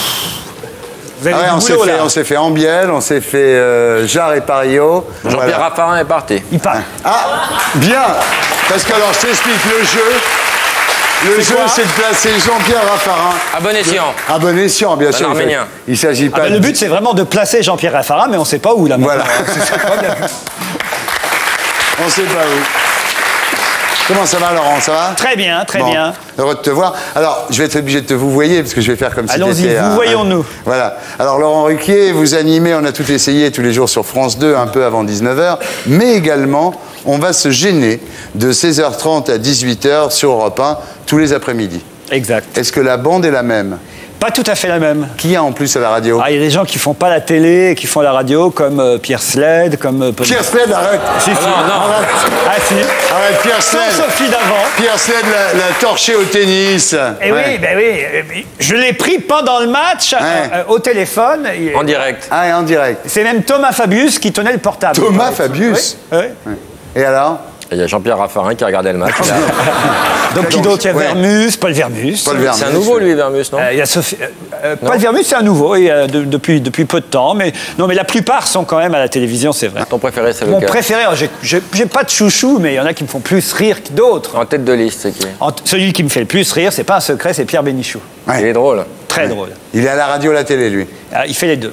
Alors, pour ceux qui ne peuvent pas écouter Europe 1 euh, l'après-midi, vous publiez chez Plomb Europe 1, On va se gêner, les meilleurs moments, euh, tout ce qui est drôle, quoi. Oui, c'est vrai d'ailleurs que Pierre Bénichou est plutôt bien servi dans ce bouquin. Bah, Allez-y, dites-moi ce que vous préférez. Il y a Laurent. beaucoup de bénichou. Bah, je sais pas, il y a des phrases que j'aime de, de Pierre, par exemple, quand il dit euh, Un traiteur, c'est un charcutier qui s'est pris pour Jean-Marie Messier. Ouais, ça, ça me plaît beaucoup. ouais, c'est drôle, ouais. Ouais, c'est une belle formule. Jade, la fille adoptée par Johnny et Laetitia, était vachement contente de voir en même temps sa grande sœur et son grand-père arriver pour venir la chercher. Voilà. C'est Laurence Boccolini qui animait la soirée Les 100 femmes les plus belles du monde. Et là, il y a Christophe Alévèque qui a dit Laurence Boccolini, elle, elle était 25e et 26e. c'est bien. c'est bien. pas mal, c'est pas mal. ouais. Ouais. Non. Il y a aussi euh, Stevie qui raconte souvent ses sorties avec Martha Barrière, vous savez, la, Ah bah oui, l'héritière du, du groupe Barrière, il est Voilà. très ami avec elle, Stevie. Alors oui. Miller demande à Stevie, Stevie, depuis que vous dînez avec Martha Barrière, est-ce que vous connaissez les règles du savoir manger? Quel morceau de pain tu dois prendre? Est-ce que c'est celui de gauche ou celui de droite? Hein C'est important quand on est à Ouais, table en société. Alors Stevie répond celui qui est à gauche. Et Bonaldi demande le couteau, il est à droite ou à gauche? Stevie sait, il est à droite. Et là, il y a quelqu'un qui dit attends, ce qui nous intéresse, c'est le sac à main de Barrière. Il est à gauche ou à droite? C'est drôle. Ouais. Miller, on a de très bonnes, Gérard. Miller, il y a à Lourdes, vous avez remarqué, les places de stationnement, Ah oui. c'est l'inverse des villes habituelles. D'habitude, il y a une ou deux places réservées pour les handicapés. Là-bas, ce sont une ou deux places pour ceux qui ne le sont pas. Sont des dialogues, quoi. Ouais, Voilà. Pour les Alors- fans de l'émission. Voilà. Alors ça s'appelle On va se gêner, les meilleurs moments. C'est publié chez Plomb euh, Europe 1. Et c'est très rigolo. Voilà, c'est tout ce que je peux vous dire. Moi, je me suis bien marré. Alors, on parle toujours, euh, Laurent, de votre hyperactivité, lever tôt, coucher tard. Et vous répondez, rassurez-vous, j'aime la vie que je mène. Euh, D'ailleurs, euh, même vous dites que vous regrettez de ne pas en faire davantage. Ah, je peux pas en faire plus, là. Ouais, Ça serait, ça serait ouais, trop, là. ouais. Non, non. Mais vous dites, quand je compare ma vie avec la vie de la plupart des gens, finalement, euh, c'est une existence plutôt heureuse, quoi. Bah oui, je vais quand même pas me plaindre. Euh. J'ai souvent dit ça, c'est vrai. Je- franchement, euh, on est parfois crevé le soir, mais on fait, on fait des boulots formidables. Euh, on s'amuse pendant qu'on travaille, on va au Cinoche, au théâtre gratos. Enfin, je veux dire, on a que des avantages dans ce métier. Alors oui, parfois c'est fatigant quand on fait beaucoup de choses, mais franchement, ceux qui se plaignent, c'est. C'est bien de s'en rendre compte. les artistes qui se plaignent, il y a des artistes qui n'ont pas l'air heureux, même après un mariage, il y en a, on n'a pas l'impression que ça les appelle. on n'a pas l'impression que ça les épanouit. Je vois pas. Alors en fait, Laurent, vous n'avez pas oublié d'où vous venez en fait. C'est ça qui est bien chez vous, c'est que vous vous souvenez que votre père était ouvrier euh, chaudronnier au Havre, euh, que vous habitiez dans une HLM, que vous n'aviez pas de voiture, pas de vacances. Jusqu'à l'âge de 14 ans. Après, Voilà. les parents ont eu la chance de pouvoir quitter euh, Ouais. euh, la, ça, vous la- HLM pour aller Ouais. dans une maison de location. Ouais, vous l'avez pas oublié. Et en fait, euh, en troisième, on vous a orienté vers la comptabilité et, et vous envisagiez même pas des études supérieures, quoi. Non, c'était pas possible parce que euh, mes parents avaient cinq enfants, j'étais le dernier, et, et pour mes parents, l'idée c'était que les enfants travaillent euh, Ouais. le, le plus vite possible. Donc je suis le seul. Mon un autre de mes frères est allé jusqu'au bac, mais hélas, l'a pas eu. Donc je suis le seul à avoir eu le bac. C'était une fierté pour euh, Ouais. pour mes parents déjà à l'époque, et ils estimaient que après il fallait bosser quoi.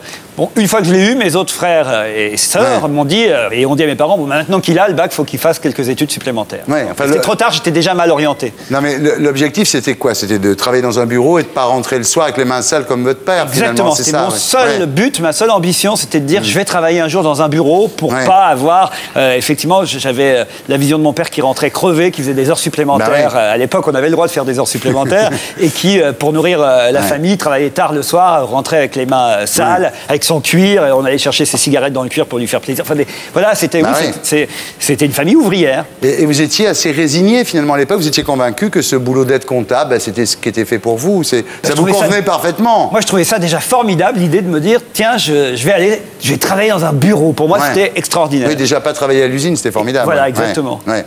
Alors vous étiez résigné, mais quand même, il y avait quelque part en vous un, un désir d'être journaliste. Ça- C'est très sérieux cette interview.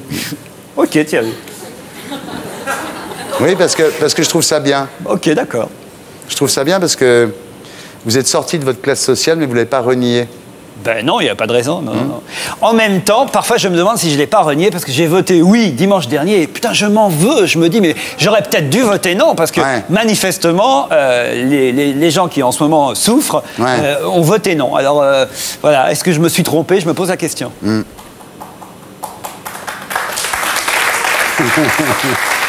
Même après le vote, les gens n'ont rien compris. Ouais, de à toute façon, je crois qu'on n'a rien compris avant, pendant et après ce vote. Tu as raison, Laurent. Et on ne comprend pas ce qui se passe aujourd'hui non plus, d'ailleurs. Mais vous aviez quand même ce désir d'être journaliste, ça se manifestait comment? Parce que c'est vrai qu'au Havre, dans cette famille-là, comment est-ce que vous pouviez imaginer ça? D'abord, j'ai commencé à écrire des petits journaux euh, au- à, à l'école. Je faisais passer euh, pendant, euh, pendant les cours un petit journal sur lequel je me moquais des autres élèves et des profs et qu'on se passait en douce. Il y avait un exemplaire unique, hein, c'était même pas imprimé. Comment ça s'appelait Euh, C'était en seconde AB22, alors ça s'appelait le journal de l'AB22 et c'était un AB, c'était déjà un très mauvais jeu de mots. Voilà. Ça déjà. commençait déjà. Tout était là. Tout était là. Non, et je découpais des trucs dans les, dans les magazines, des, des- des photos qui ressemblaient plus ou moins aux profs, mais je me foutais de leur gueule Ouais. dans, dans le petit Ah oui, journal. Ça a commencé comme ça. Voilà. Ouais. Et alors, cette résignation que vous aviez à l'époque, vous, vous pensez qu'elle pourrait revenir un de ces jours euh? Je pense que oui. Je pense que et, et je pense que ça pourrait s'arrêter. Je serais, je serais sûrement malheureux, Hmm. mais en même temps, j'aurais déjà vécu à des choses que j'aurais jamais imaginé vivre. Que je pense que j'arriverais à, à- à survivre et à faire, à peut-être même redevenir comptable, allez savoir. non mais franchement. Alors, votre dernier livre donc s'appelle On va se gêner les meilleurs moments et on va faire une interview. On va se gêner.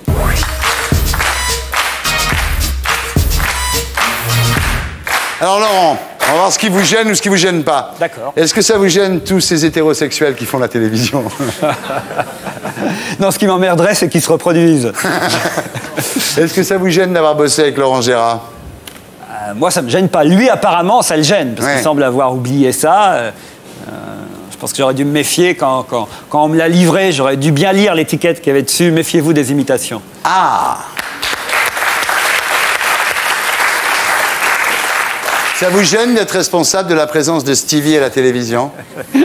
Pas du tout. Je suis plutôt fier euh, du parcours. Il a réussi à s'imposer. En plus, on se souvient quand il est arrivé à France 2, le tollé que ça a provoqué, euh, quelqu'un de la télé-réalité sur le Ouais. service public. Depuis, on voit tous les gens de la télé-réalité partout. Et puis, euh, je trouve que c'est un de ceux qui euh, s'en sort plutôt pas drôle, mal. ouais. Il est drôle, euh, il a des réparties. Puis attention, je suis pas responsable. le- les responsables de Stevie à la télé, c'est d'abord M6 et le Ouais. Loft. Moi, j'ai juste fait l'ablation du bourriquet, c'est tout. hein.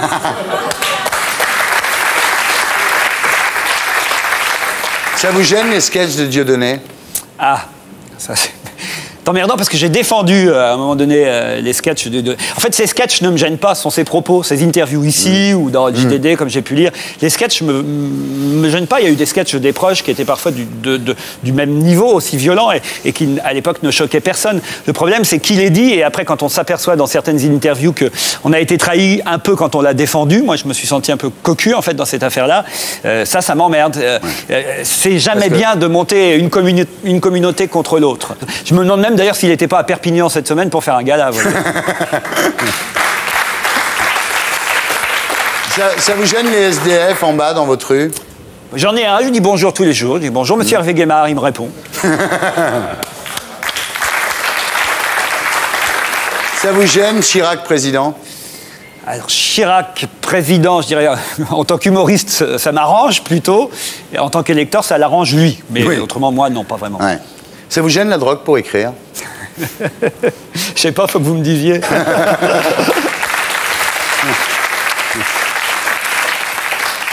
Ça vous gêne quand vous faites draguer par une fille D'abord, ça m'arrive rarement. Ouais. Et ça arrive, il y a encore des gens qui n'ont pas l'info, non Voilà, ouais. Ça Et puis ça me fait plutôt plaisir, en fait. Et On alors, sait tu- jamais, elle a peut-être un frère. Ouais. ça vous gêne de gagner beaucoup d'argent, Laurent Ça, c'est un peu compliqué. Je dirais, c'est gênant et ça me gêne pas. Ouais. Parce que c'est génial de gagner de l'argent. Mais oui, parfois, ça paraît, ça- on se sent un peu gêné. Ouais. Ça vous gêne de ne pas avoir d'enfant Ah. Ça me gêne pas vraiment, non. Ça... Au moins, j'aurais pas un gosse qui plus tard fera un bouquin en disant que j'étais un mauvais père.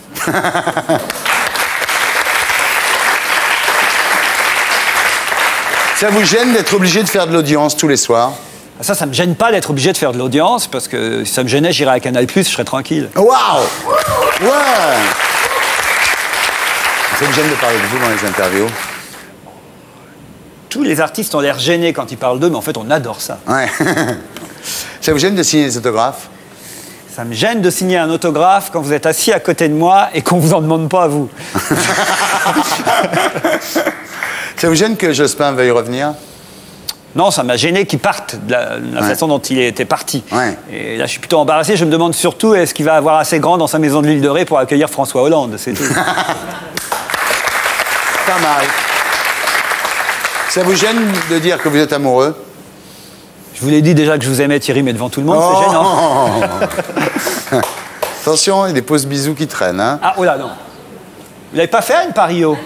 Bah non, il y avait Jarre qui était là. Mais attends, ils viennent, ils viennent de se marier. Ils viennent de se marier.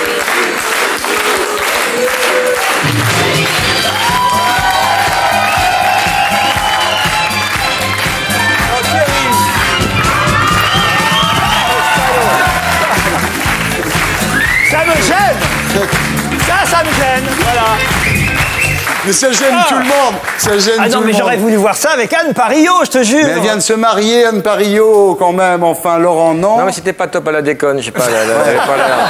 Ah oui, t'as remarqué. Ah, ils hein. sont un peu tendus, hein. Il est parti avant, elle attendait. qu'est-ce qui je- se passe Je sais pas. Tu penses que. Faut que je relise l'article de Paris Match, mais. ça pue cette histoire. Les éternels galopins. Hum. Ah oui, comme c'était beau cette phrase. C'est de la- Ah, c'est beau. C'est du Irène Fra en même temps. Hein. C'est, oui, c'est... Ça vous gêne quand on dit du bien de vous? Non, vous pouvez continuer. Vous êtes un peu mouillé, là. Enfin, on, dirait on dirait que vous êtes Pas fait- que là Ah, ouais Pour faire rire, on dit vraiment n'importe quoi Ouais, ici. ouais, hein. bien sûr. Rattrape-toi. Alors ça- vos parents vont, vont- vont se connaître alors. euh.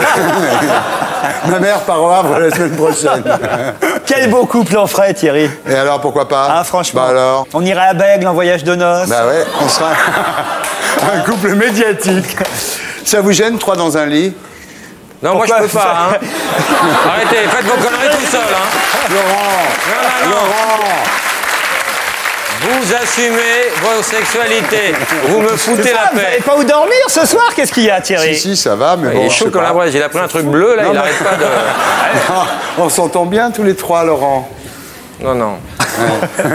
Ça vous gêne le mariage gay? Le mariage gay, c'est chiant parce que si c'est pour épouser un mec et que ce soit comme une robe de mariée et qu'on puisse plus rentrer dedans dix ans plus tard. Waouh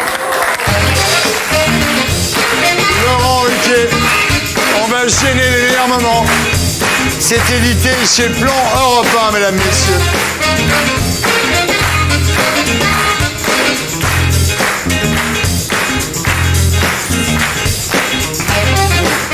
Bon, allez Ah Oh merde Qu'est-ce que ça va être? Méline, tu sais que tu travailles aussi pour moi.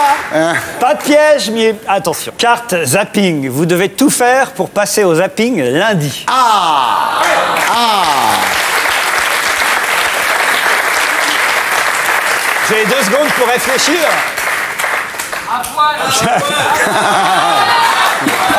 Une pelle à Bafi Non, il y a des limites. Laurent Je crois que ma fille est décédée. ma fille nous a quittés. On n'a pas le zapping avec ça. hein. Non. Non, tu fais pas d'effort, Thierry, tu vois. Non, mais fais un autre truc, fais un autre truc. Qu'est-ce que je peux faire On a tout Ah, on va se prendre un verre dans la gueule. Non, mais c'est trop classique. Ah, quoique, c'est pas mal, hein. Ah, Ah, c'est pas mal, ça, une pelle à une fille. Une pelle à une fille, ouais Ah, ben voilà. Ouais, ouais, ouais. Et c'est qui Je ne sais pas qui a choisi, mais attendez. Est-ce que je peux vérifier d'abord? Ah oui.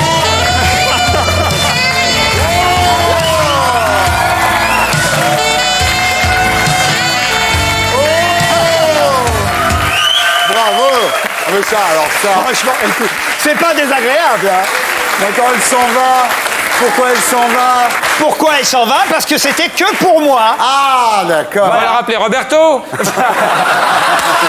Non, non, et t'as vu L'émission n'était pas de ce niveau-là avant. Je te jure, je te jure que je ne sais pas qui la c'est. même. Mais je sais qui c'est. C'est qui Mais C'est- c'est c'est c'est la Jean-Pierre Raffarin Non mais, C'était attends, d'un non, non, autre Je tiens niveau. à préciser quand même que, que Serge Calfon me dit que c'est l'ancien chauffeur de salle qui a amené cette jeune fille. Merci. Ah non Eh, ça donne pas envie de virer le nouveau chauffeur de salle, ça Oui.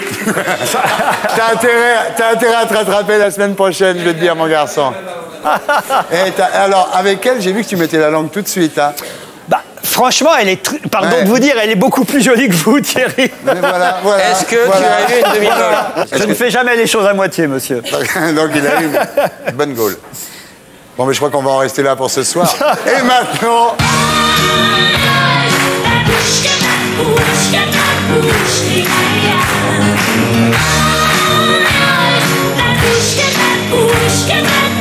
j'accueille Olga Kurilenko.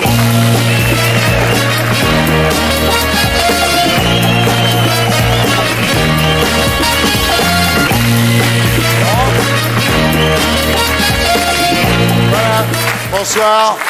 Vas-y, Laurent, vas-y.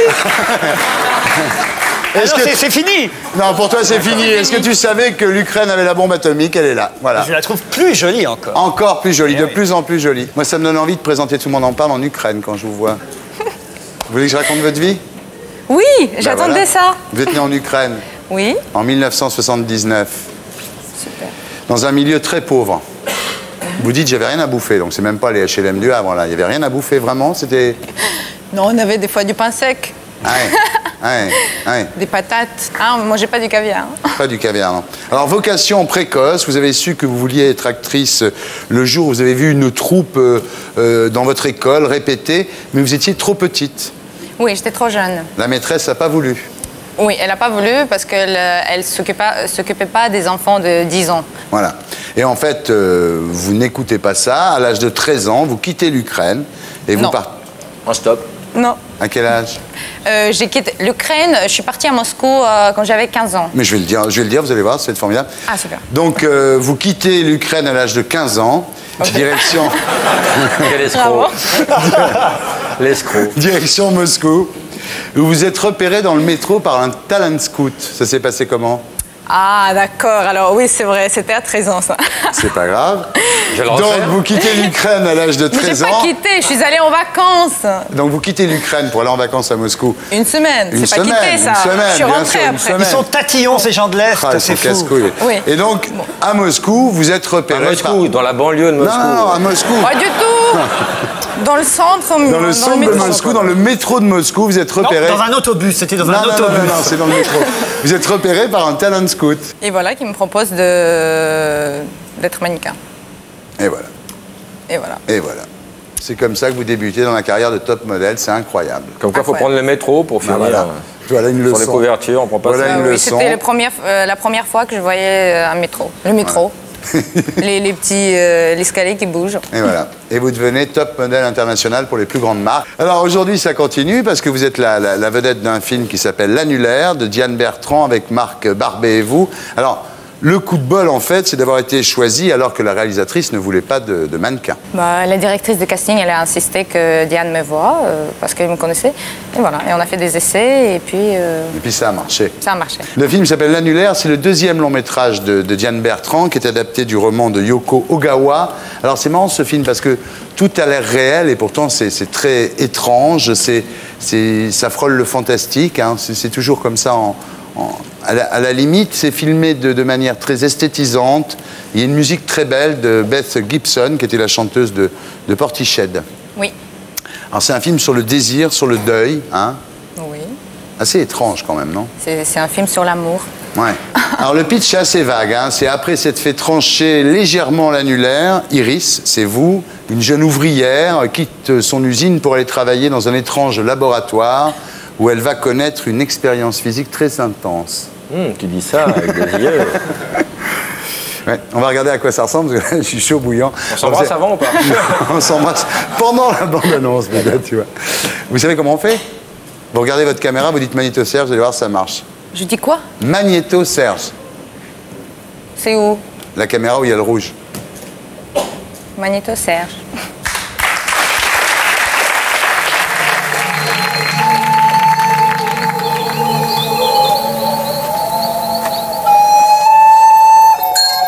L'annonce. Ce n'est pas trop tard En quoi consiste le travail exactement? Un laboratoire de ce genre ne se trouve pas n'importe où. C'est pourquoi il faut un certain temps pour comprendre.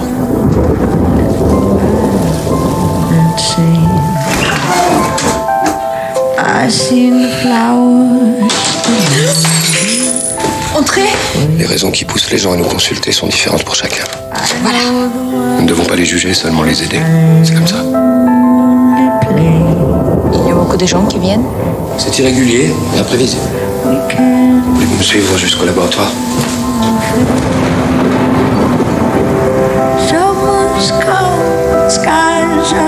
Je crois que le travail est plus difficile que je ne le pensais.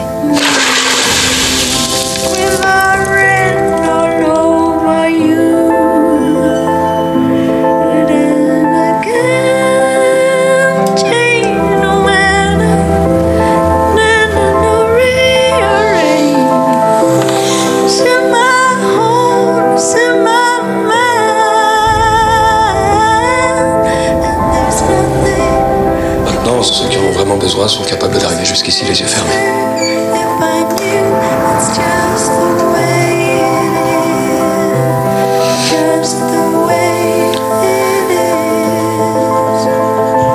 La plupart des gens ne reviennent jamais ici. Voilà l'annulaire de Jeanne Bertrand avec Marc Barbet et Olga Kurilenko qui est notre invité ce soir. Voilà, ça sort le 8 juin.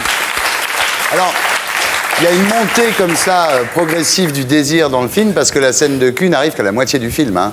Mais oui. Alors moi j'ai regardé, j'étais là. Tu attendais, toi. Ouais, j'attendais. ouais.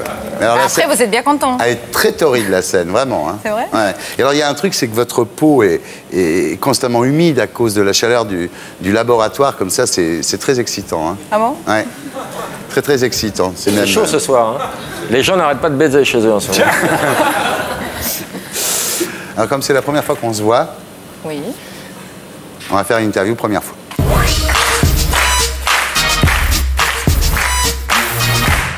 Alors, votre premier souvenir Ma grand-mère qui m'apporte euh, un verre de lait avec des- deux gâteaux au lit. Deux gâteaux Le soir.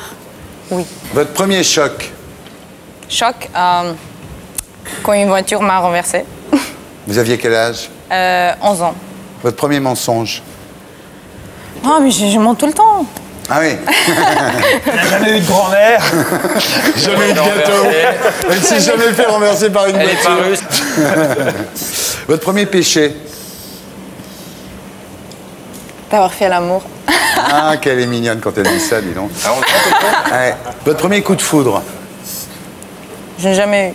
Jamais jusqu'à maintenant, non, c'est vrai Jusqu'à maintenant, l'autre, il rêve.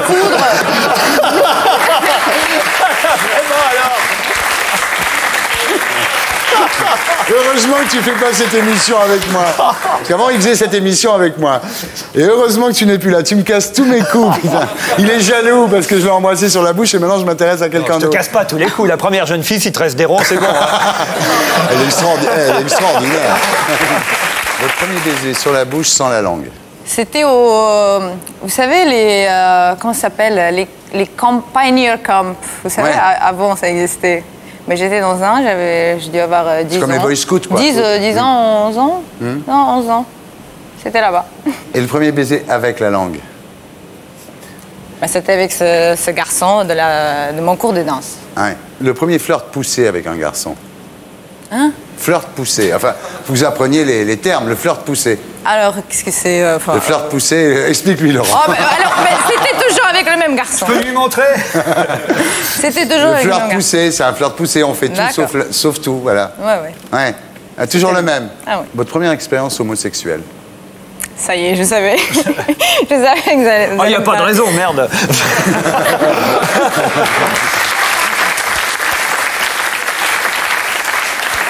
C'est un secret, je ne le dis pas. C'est un secret. Première fois à trois.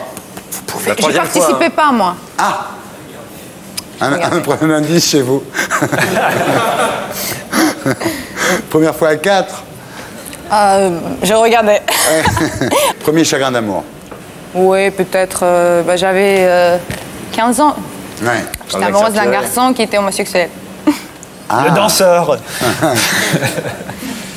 Ah oui, c'est horrible. J'étais triste. Mais bon, c'est pas un chagrin parce que comme il n'y a jamais eu de début, euh, c'était pas. euh, Vous avez, vous avez l'air assez. hein, vous avez l'air un peu froide avec tout ça. hein, vous n'avez pas l'air de vraiment vous passionner. Ouais, non, je me Je me rappelle demande si vous pas êtes des si sentimental ça. que ça, moi. Comment? Pourtant, vous êtes scorpion, vous, non? Oui. Ah, très bien. Et les scorpions, euh, ça aime le sexe quand même. Je vous trouve très. Oui, non, mais c'est- non, Ça dépend parce des que je- scorpions. hein. Il y en a qui Ouais. baissent très non, peu. Non, mais là. hein. mais vous êtes sentimental quand même? Sentimental. Oui, Je me demande, moi. Je me demande si vous êtes si sentimental que ça, Olga, finalement. Peut-être de temps en temps. Ouais. Des fois, ça dépend. Vous n'êtes pas amoureuse en ce moment, hein? Si. Ah bon? Déjà?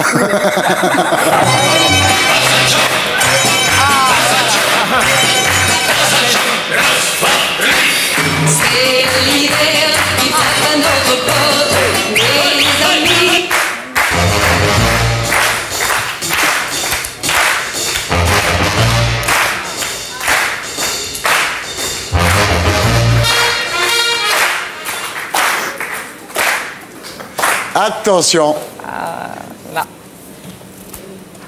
Vous devez porter un grand chapeau pendant 10 minutes. euh. Notre cas.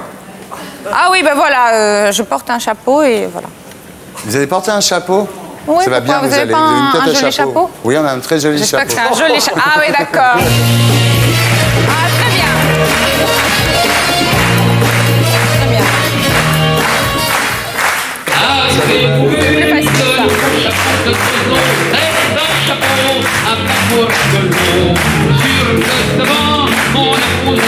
J'accueille Catherine Lara.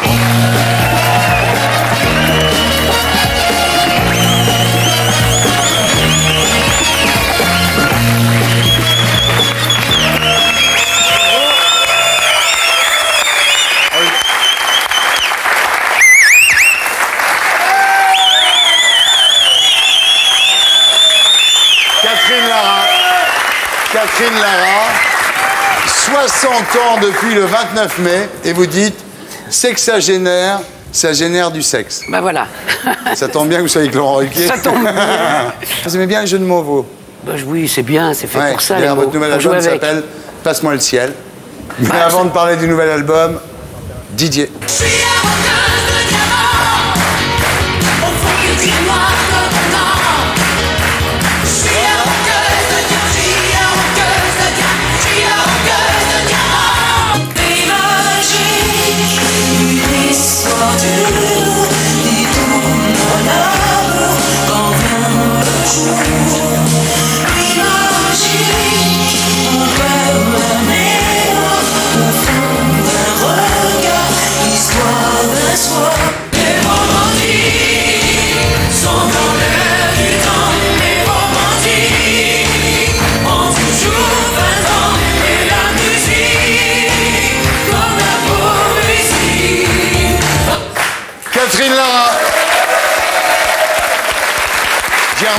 Laurent, vous, vous connaissez par cœur toutes les chansons de, de Catherine Lara. Ce sont des tubes, ce sont des standards. Vous connaissez Catherine Lara, Olga Oui. Oui. Catherine Lara, grande artiste euh, française. Et la nièce de Jean-Pierre Raffarin, on peut le dire. hein. Je crois que c'est pas un secret. hein. Alors, votre nouvel album s'appelle Passe-moi le ciel. Donc, alors, 8 ans sans album euh, solo euh, où vous chantiez. Est-ce que c'est dû à une lassitude après 25 albums Besoin d'un break ou... C'est-à-dire qu'à un moment donné, j'avais un petit peu l'impression d'arriver à- comme un cadre avec mon attaché caisse et mes nouvelles petites chansons avec la bonne et la mauvaise cuvée. Et je me suis dit, là, le break est nécessaire pour retrouver euh, l'intime conviction euh, d'aimer faire les choses et de les faire. Alors, l'envie d'écrire, vous est revenu à travers les mots euh, avant de vous revenir à travers la, la- J'ai eu musique. envie hein. d'écrire Ouais. des mots, parce qu'il Ouais. y avait très longtemps que ça me travaillait un petit peu. Je ne l'ai pas fait toute seule, parce que j'avais un partenaire qui est un, un grand smatcheur, et on Ouais. s'est fait une bonne partie de ping-pong tous les deux. Euh, voilà, en- évidemment avec des jeux de mots, mais en essayant de, par exemple, de sortir de, de phrases idiotes comme euh, il faut souffrir pour être belge. Je trouve- tou- Vous dites il faut s'offrir, décevant. vous. Moi, je dis il faut s'offrir. Ouais, c'est joli. Ouais, c'est comme la vérité sort de la bouche du métro aussi. Hein. Oui, ça c'est une chanson qui est pas drôle, ça peut faire rire le titre, mais enfin c'est l'histoire d'un SDF. Ouais. Et puis il y a la traversée du désir, enfin. Alors, c'est un album euh, sans artifice, hein, Oui, très, tout à fait. très rough comme ça, votre, votre Rough, voix un peu cassée. euh, bah oui, ça est un peu cassé, elle s'est arrondie, moi aussi d'ailleurs. Enfin bon, c'est tous arrondi. Et Ouais. puis euh, je crois que c'est un album. euh, bon, sérénité, c'est peut-être pas. J'ai pas acheté non plus une auréole à la Samar, mais je je dirais que aujourd'hui, je me sens bien dans ma peau. Hmm. Et j'avais besoin d'être bien dans ma peau pour écrire des chansons très tristes. Parce que il est plus facile d'aller gratter les bleus Ouais. qu'on a au fond de l'âme euh, quand on est bien dans sa peau. Pour Et le premier single s'appelle Petit homme.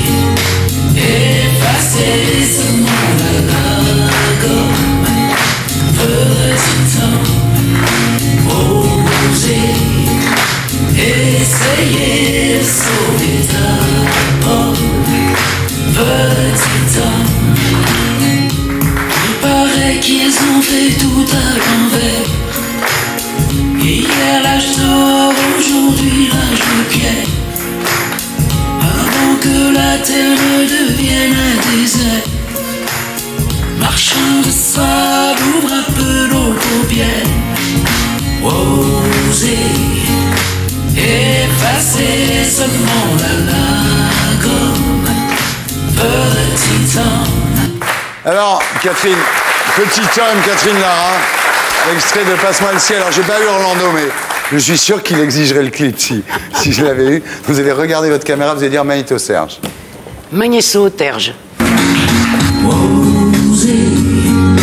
Effacer.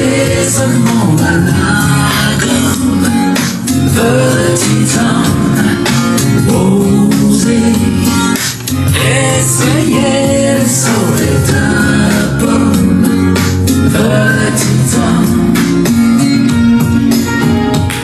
Voilà, Petit homme, extrait de Passe-moi le ciel, le nouvel album de Catherine Lara. Voilà.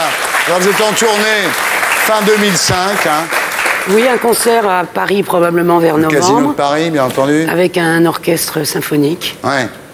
Voilà, plein de projets, plein de choses. Voilà, alors, votre autre euh, actualité, c'est Graal. Hein. La légende du Graal. Voilà, une adaptation scénique de l'album euh, éponyme. Alors, c'est l'histoire de Merlin l'Enchanteur, euh, la Les Fée Chevaliers de la Morgane, Table le roi Ronde. Arthur, Lancelot, Guenièvre, etc.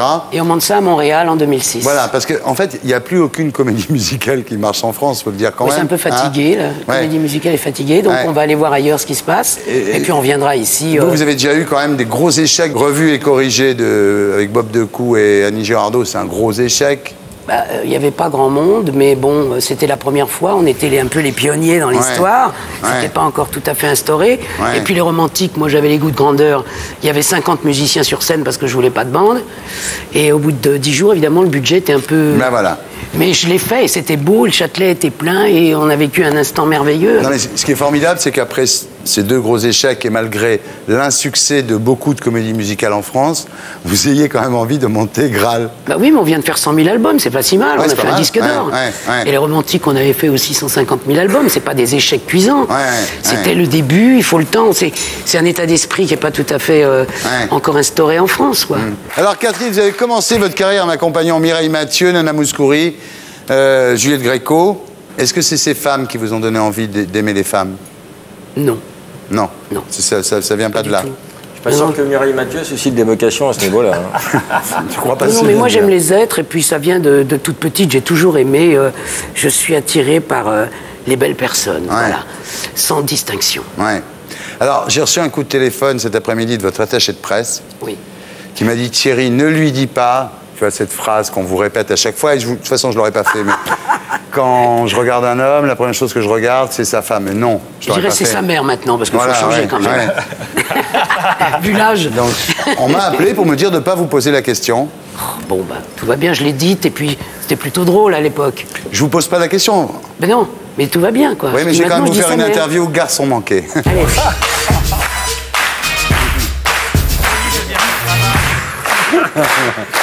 Catherine, vous connaissez qui comme joueur en équipe de France? Je connais euh, Zizou. Il n'y est plus, hein Il n'y est plus? Bon, bah maintenant, euh, aujourd'hui, je suis pas bien. Je serais incapable de dire un nom. C'était quand votre dernière bagarre? Je me bagarre pas tellement. Ouais. Ça vous tente un petit bras de fer? Oui. Laurent? Avec moi? Avec la langue. Un bras de fer. Tout est possible. Un bras de langue. Tout est possible. J'ai mais même, j'ai même jamais fait un bras de fer. moi. C'est des jeux de brutes, ça. Mais moi, je peux pas poser le coude, c'est un Si, petit la- peu non, non, les coudes sur la table. Mais j'ai pas, il va pas jusqu'en bas. Son coude qui va pas la table. On est emmerdés, là.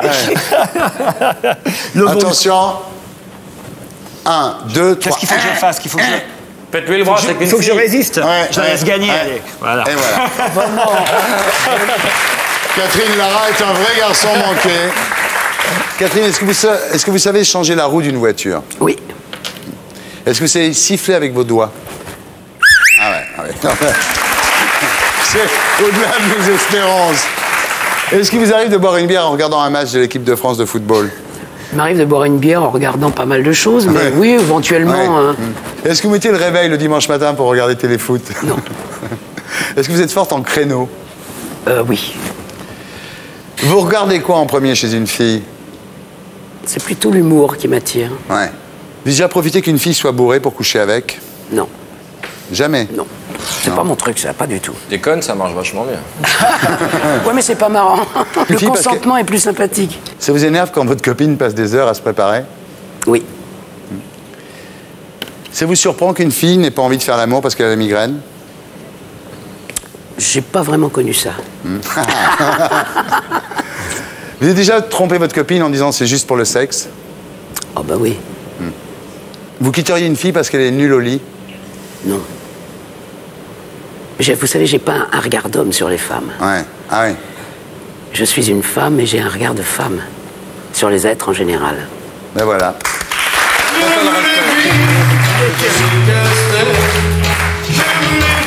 Catherine Lara, passe-moi le ciel C'est son nouvel album, mesdames, messieurs.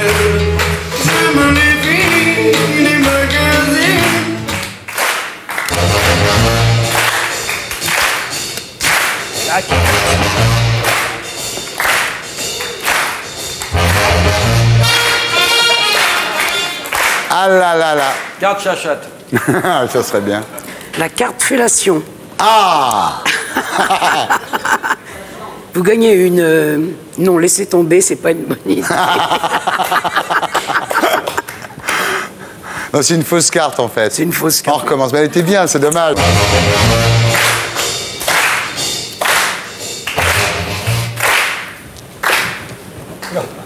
Oh, vous devez dire du mal de sœur Emmanuel. Non, franchement, c'est pas possible ça. Ah si, c'est bien ça. Oh non, c'est pas bien du tout. Pourquoi Parce que. Cette conne. C'est une. Je me sens incapable de faire ça. J'ai un tel respect pour cette femme. Ah oui Ah non, dire du mal de sœur Mais elle vous Emmanuel. aime pas. hein. Bah dites du mal de Mère Teresa, on s'en fout. Non, mais bon, je peux lui dire que sa cornette lui va pas bien. Non, que- non, non, non, non, c'est pas mais- du mal, Mais ça. non, mais dire du mal, c'est impossible de dire du mal d'une femme aussi parfaite. Ah ouais. Tu sais ce que c'est quand on ne veut pas faire la carte, on doit embrasser quelqu'un. Bon, alors.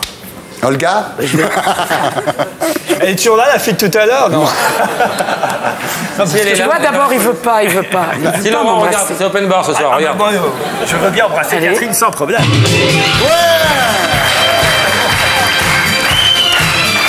C'est beaucoup plus tendre et mignon que tout à l'heure.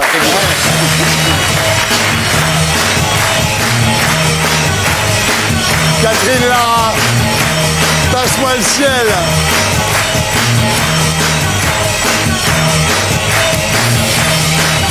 J'accueille Philippe Gilbert.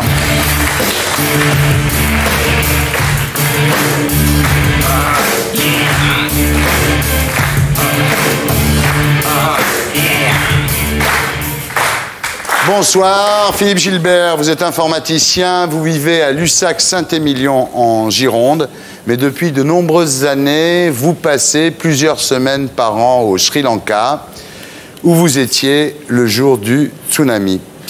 Euh, vous racontez cette aventure dans un livre qui s'appelle Les larmes de Ceylan, aux éditions des Équateurs. Alors le 26 décembre 2004, vous êtes donc dans le sud de l'île de, de Ceylan, dans un bungalow que vous avez fait construire dans un village de pêcheurs près de Tangol.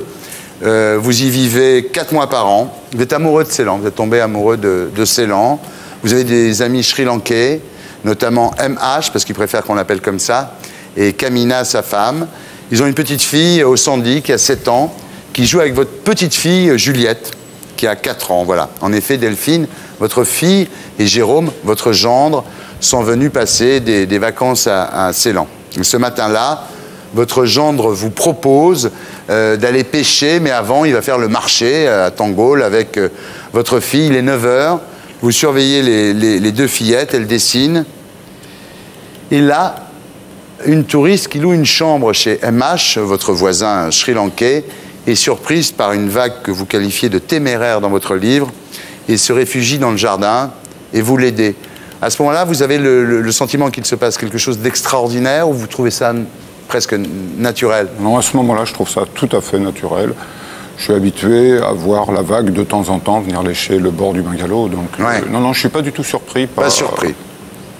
Alors l'eau passe la clôture du, du petit jardinet, vous réagissez pas plus à, à ce moment-là, vous rentrez dans votre bungalow pour pas être mouillé, et là le, le- le flot d'eau s'engouffre euh, dans la pièce en fracassant tout sur son passage. hein. C'est-à-dire que là, la, la porte d'entrée vole en éclats. Quoi. Là, vous comprenez qu'il se passe quelque chose de... Oui, là, à ce moment-là, euh, je prends conscience, euh, même si j'ai pas conscience totale de ce qui va réellement se passer quelques secondes après, là, je, je commence à, à comprendre que ça n'est pas normal, en fait. Ouais. Voilà. Vous comprenez qu'il se passe quelque chose. Euh, Il y a un deuxième flot qui est torrentiel, dites-vous. Vous avez de l'eau jusqu'au cou et vous, vous sortez de- du, du- du bungalow où vous êtes réfugié. Et dehors, la, la vision est absolument euh, terrifiante. Il y a une vague monstrueuse et vous avez cette image, vous dites, j'ai l'impression d'être comme euh, un Égyptien euh, dans le film Les Dix Commandements au moment où la mer Rouge se referme. C'est-à-dire que vous êtes submergé par la, par la masse euh, d'eau. C'est ça, c'est ça. Et ma, ma première pensée, ça a été, euh, tu vas pas souffrir. Ouais. Ouais. Quand vous voyez un, un truc comme ça. Là, vous pensez que vous allez mourir à ce moment-là? Ah oui, oui, j'en suis tout à fait persuadé. Je suis simplement rassuré à l'idée que ça va, ça, va, ça va aller très vite et que je souffrirai pas. hein. Donc, euh, ah oui, oui, pour moi, là, je suis mort. hein. Heureusement, voilà, vous êtes transporté à 30 mètres de chez vous. Heureusement, vous accrochez à un cocotier. Et là, vous vous le prenez comme ça, quoi, comme une espèce de, de bouée de sauvetage. C'est le cas de le dire. Et vous laissez passer la vague et vous, vous- vous parvenez à, à continuer à, à respirer, donc à survivre. Tout ça se passe très très vite, hein. vraiment très très vite. Et après, une fois que vous êtes accroché, euh, bah, c'est interminable. Hein, alors, faut que ça cesse, faut que ça cesse. Et puis ça cesse. Voilà. Et vos enfants étaient en sécurité, là? La, chance de ma fille et de mon gendre, c'est qu'ils étaient partis au marché ce jour-là, euh, à une heure tout à fait inhabituelle. hein. D'habitude, ils partent au marché beaucoup plus tard que ça. Là, ils sont partis. euh, Et d'habitude, ils emmènent Juliette avec eux. Et là, je leur dis, euh, vu l'heure, euh, laissez Juliette, elle est avec Ossandi tranquille, laissez, je vais les garder. Quoi. Vous demandez donc où sont Osandi, la, fille de, de vos amis sri-lankais et Juliette. Oui, il faut savoir que là, euh, vu euh, le spectacle auquel j'ai assisté, je n'ai pas le moindre doute sur le fait que Juliette et Ossandi soient, soient mortes. hein. Euh, dire, elles ne, ne peuvent pas avoir. je, je vois la chambre où elles étaient. Je vois. Il y a un bateau dedans. Il y a. Enfin, c'est. c'est- Donc, je, je n'ai plus de doute là-dessus. Maintenant, il me reste un truc terrible à faire, c'est d'annoncer ça à ma fille, de, de- de revenir, si vous voulez, d'aller vers eux et d'affronter le regard de ma fille qui va me voir arriver, moi, vivant, tout seul, sans sa fille. Là, effectivement, vous les retrouvez sur le marché de, de Tangol. Euh, Ils sont même pas mouillés, évidemment, puisque c'est à des kilomètres de là. Vous dites jamais, je n'oublierai le cri de Delphine, un cri dément, insoutenable. Oui. Rien d'autre à rajouter. Ouais. Ça ça- ça m'a marqué euh, pour le restant de mes jours. Bah oui. Alors, ensuite, vous allez dans un hôtel qui est situé à 7 km de Tangol, sur les hauteurs. Un hôtel qui s'appelle le Eva Lanka. Et là, vous êtes choqué parce qu'en fait, les, les- les touristes, évidemment, euh, ils ne savent pas ce qui s'est passé. Donc, euh, ils profitent de la journée de, de vacances comme si de rien n'était. Et nous, on arrive là, enfin encore que ma fille et mon gendre étaient euh, correctement habillés, mais en ce qui me concerne, j'étais en loc, en sang. euh, je veux dire, euh, ça fait un drôle d'effet hein, de, de- de voir qu'il y a des gens qui ont pu ne pas se rendre compte du Ouais. tout de, de- de ce qui s'était passé. Alors, il y a une personne qui est concernée quand même, c'est Hélène Devingue de LCI, qui, qui, qui, là, avec son compagnon Emmanuel Carrère, l'écrivain, Oui. et elle vous parle et vous témoignez euh, sur LCI de ce qui s'est passé, en fait, ce jour-là. Oui. Et ça, ça a été le départ de tout. Ça a été, euh, si j'ose utiliser des mots comme ça dans notre situation, ça a été une chance inouïe. Une chance inouïe parce que, si vous voulez, il est évident qu'on aurait de toute façon aidé les, les- les- les très proches amis, de, de- ne serait-ce que de cette sortie de ça.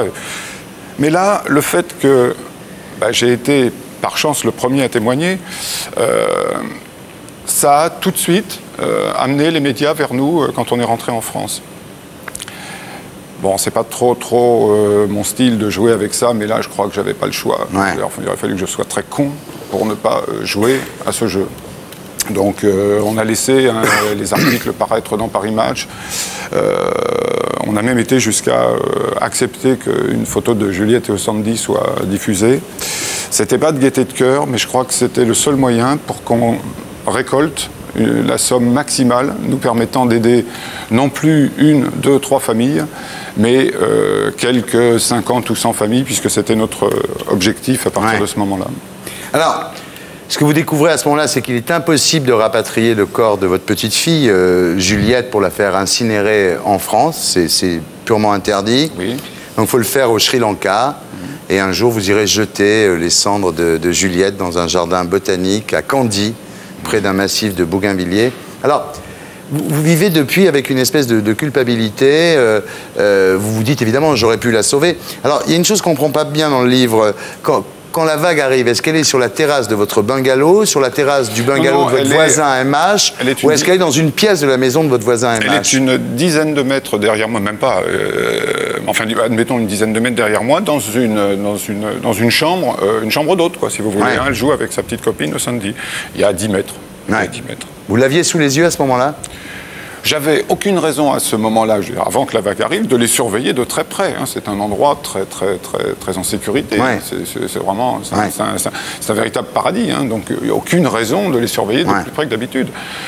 Par contre, après, entre le moment où la vague m'est arrivée dessus et le moment où je me suis retrouvé 30 mètres plus loin, avec le, euh, accroché euh, comme un con à, à ce cocotier, je veux dire, je peux même pas dire que j'ai pensé à ce moment-là au Sandy et à Julien. J'ai pas eu le temps. J'ai pas eu, j'ai pensé à rien, je- je- strictement à rien. Voilà, alors là, vous commencez avec votre gendre euh, Jérôme euh, à échafauder une, une association pour aider les habitants de, de ce petit village de, de pêcheurs. Vous inventez ce qu'on appelle le kit de nécessité. Alors, c'est quoi exactement? Bah, vous savez, ça consiste. euh, D'abord, on s'improvise. hein. Euh, on n'a jamais fait humanitaire. Donc, euh, vous arrivez avec un trac pas possible en vous demandant si vous allez être à la hauteur. Hein, Parce que c'est quand même. euh, vous n'avez pas le droit de vous planter, là.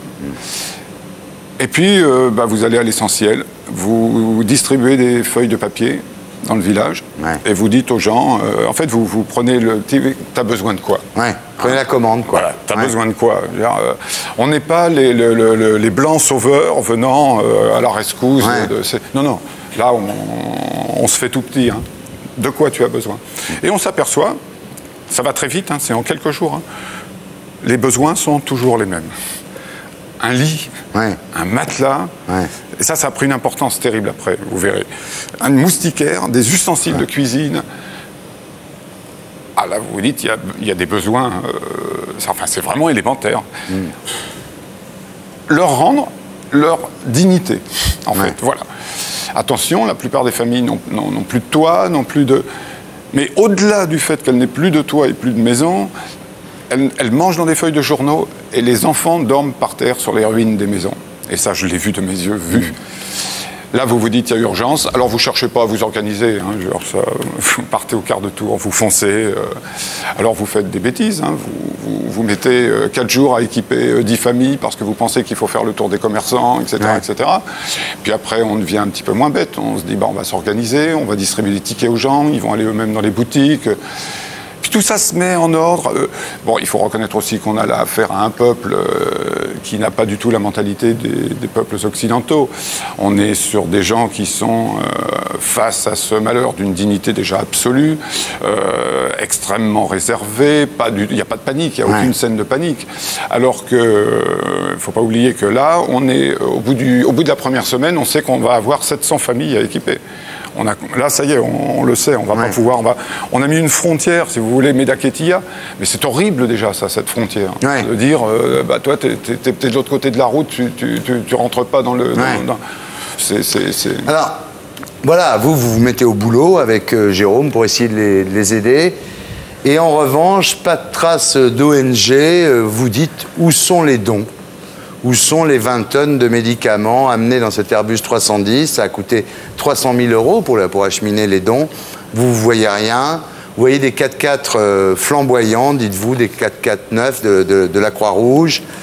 Et vous dites qu'une de ces voitures vous permettrait, à vous, enfin en tous les cas aux gens du Sri Lanka de reconstruire 100 maisons. Dans l'avion, on s'inquiétait de savoir comment on allait pouvoir, nous, tout petits, là, en arrivant à Medaketiya, s'entendre avec toutes ces ONG sur place. Parce que, comme vous, on a entendu qu'il y avait euh, des dons faramineux, que toutes les ONG étaient là-bas, que... On s'est dit, comment on va trouver notre place là euh, Ah, ça n'a pas été difficile, on était tout seul. On était tout seul. Quand je suis arrivé au début février, on était tout seul quand, je- quand mon gendre est parti fin avril. Absolument personne. C'est incroyable parce que les- euh, la France a envoyé 190 millions d'euros. euh, alors il paraît que l'argent est placé dans les six caves monétaires. Mais ça, c'est un véritable scandale, déjà. Genre, quand, je lis, moi, dans Le Parisien, c'est M. Mattei lui-même qui le dit, qu'il a Mattei, reçu... patron de la Croix-Rouge après avoir été patron de la canicule, je tiens à Voilà. préciser. Il a 100 millions de dons. Et euh, à aujourd'hui, ils en ont dépensé 7. Il y a quand même quelque chose d'absolument obscène à détourner de cette façon l'argent que les gens ont donné pour le Sri Lanka, la Thaïlande, l'Indonésie. C'est- absolument scandaleux. Oui, il y, a, il y a 7% des sommes qui ont été données au Sri Lankais. Le reste, Voilà. ils l'ont pas vu. Voilà. Moi, je, ne- je ne remets pas en cause le- le- le- la bonne foi de ces gens. Je dis c'est de la bêtise. Mais en même temps, c'est tout à fait scandaleux. Donc il faut demander des comptes à la Croix-Rouge Bien sûr. Eh bien, on va appeler le docteur Robert Sebag.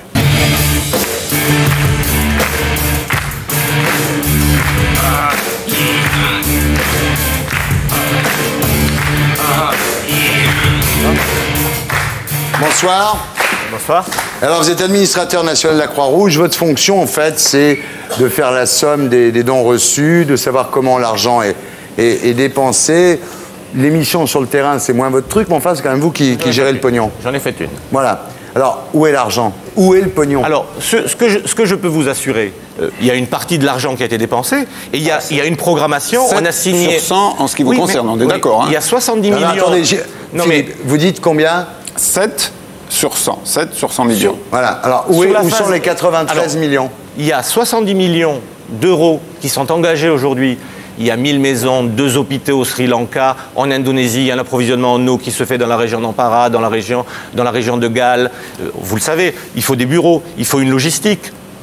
En Indonésie, on a plus, plus- plus de 50 personnes qui sont sur place. Il y a eu le tremblement de terre sur l'île Nias. On a été tout de suite là, on a remis 10 litres d'eau par personne et par jour, 160 000 litres d'eau à filtrer. Il fallait transporter le matériel. Alors, l'argent, il n'est pas dépensé en immédiat, il n'est pas dépensé comme ça, l'argent. Et pourquoi? Mais, mais Moi, parce qu'il vous faut. choque. mais- Pourquoi, vous, avec monsieur, votre- Il vous faut des récipiendaires, il faut des gens de confiance. Vous ne pouvez pas distribuer l'argent à n'importe qui, vous connaissez ce pays comme Non, moi. mais attendez, pourquoi non, je suis Oui, pas- moi, mais je suis il a- pas- mais il a je suis raison. beaucoup moins dans, dans le coup que Philippe Gilbert, mais, pourquoi est-ce que les, les braves pêcheurs qui ont eu tout détruit, on leur dit pas à chacun, on vous donne, je sais pas moi, euh, pouvoir, 10 000 euh, se dollars mettre à la euh, maison, acheter une barre. Ah oui, Alors, pour acheter alors- un bateau, pour acheter... On, on est en train, ce qu'on n'a jamais fait, si vous voulez, de- d'avoir des partenaires locaux, des Ouais. associations. Alors on vérifie qu'elles Vous sont êtes pas. en train- Non mais excusez-moi, mais, c'est- horripilant d'entendre des non, choses comme ça. Vous êtes, c'est bien parce que votre discours, au moins, il est honnête. Vous, vous êtes en train de faire un constat d'échec. Non, c'est mais enfin, c'est constat. incroyable. Si je retourne, je, je vais retourner au mois de juillet au Sri Lanka, à côté de Medaketiya, il va encore y avoir des gens qui vont dormir par terre, manger dans des feuilles de journaux, alors que vous les avez endroits. 70 Je ne millions en répondre. banque. Excusez-moi, docteur, a... oui. Docteur, on a... Docteur, non, attendez, attendez.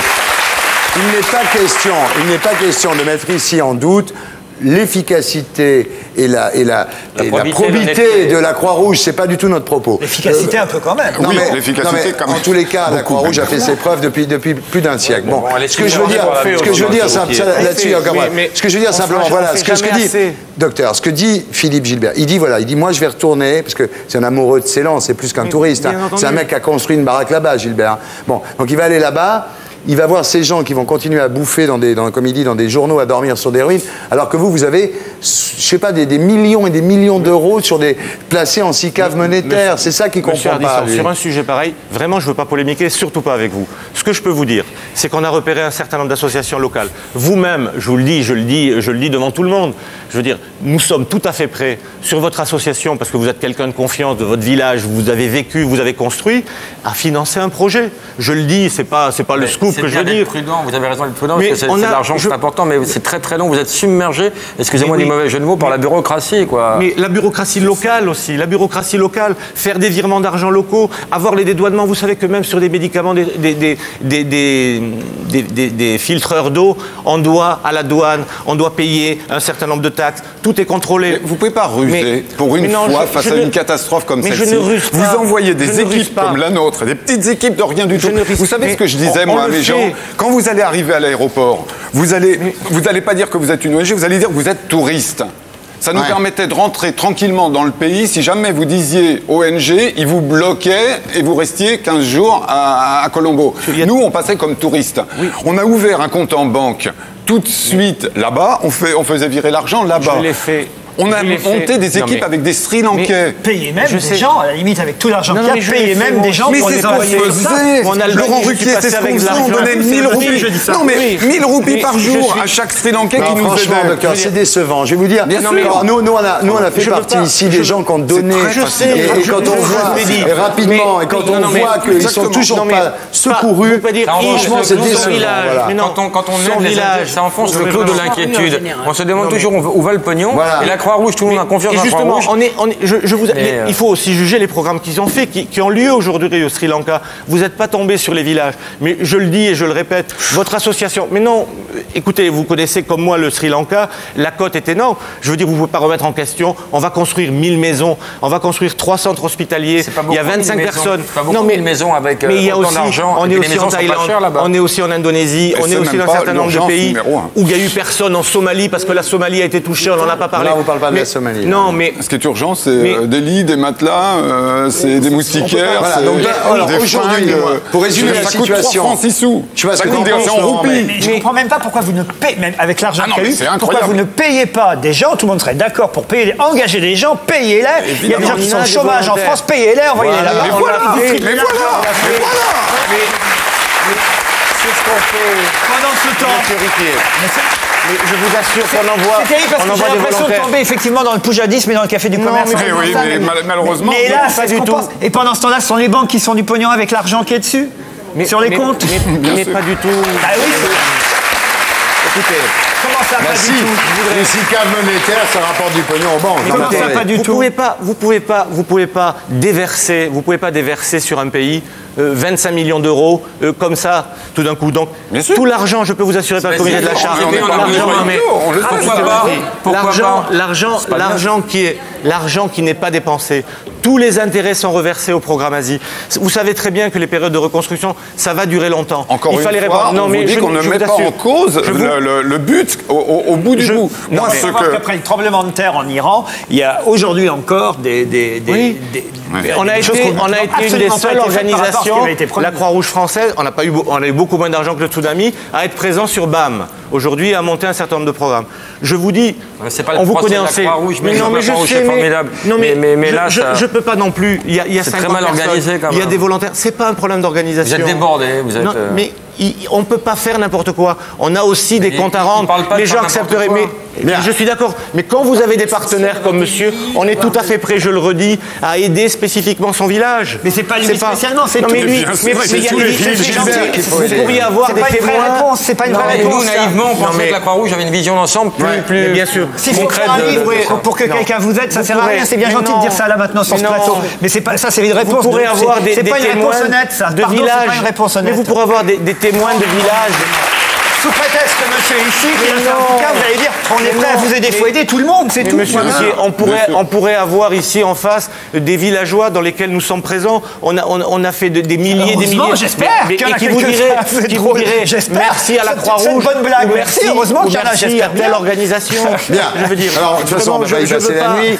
Qu'est-ce que, qu'est-ce que vous, parce que c'est ça qui est important, vous, vous habitez là-bas, vous y allez plusieurs mois par an, vous êtes encore une fois vraiment sri-lankais d'esprit, qu'est-ce que vous pensez qu'il faut faire Qu'est-ce que, que je pense qu'il faut faire Moi, euh, je, crois que je viens de m'exprimer suffisamment sur le sujet. Je, tout simplement, il faut que l'argent qui aujourd'hui dort dans des banques soit utilisé d'une façon ou d'une autre. Alors, c'est, euh, comme le dit fort justement Laurent Ruquier, c'est par exemple payer les chômeurs en France, et tant pis si on fait du poujadisme, parce que là, il y a des urgences en plus, bon, euh, ou tout simplement le distribuer il n'y en a pas besoin d'autant que vous en avez. À des petites associations comme nous qui vont au moins essayer de faire l'essentiel, c'est-à-dire de ramener très vite ces villages à dignité. Parce que quand vous dites mon village, Non, je dis votre village, je, peux vous assurer que j'ai fait la route de Colombo à. Je, je sais où vous étiez. Hein, vous étiez plutôt sur la côte est, d'accord Bien.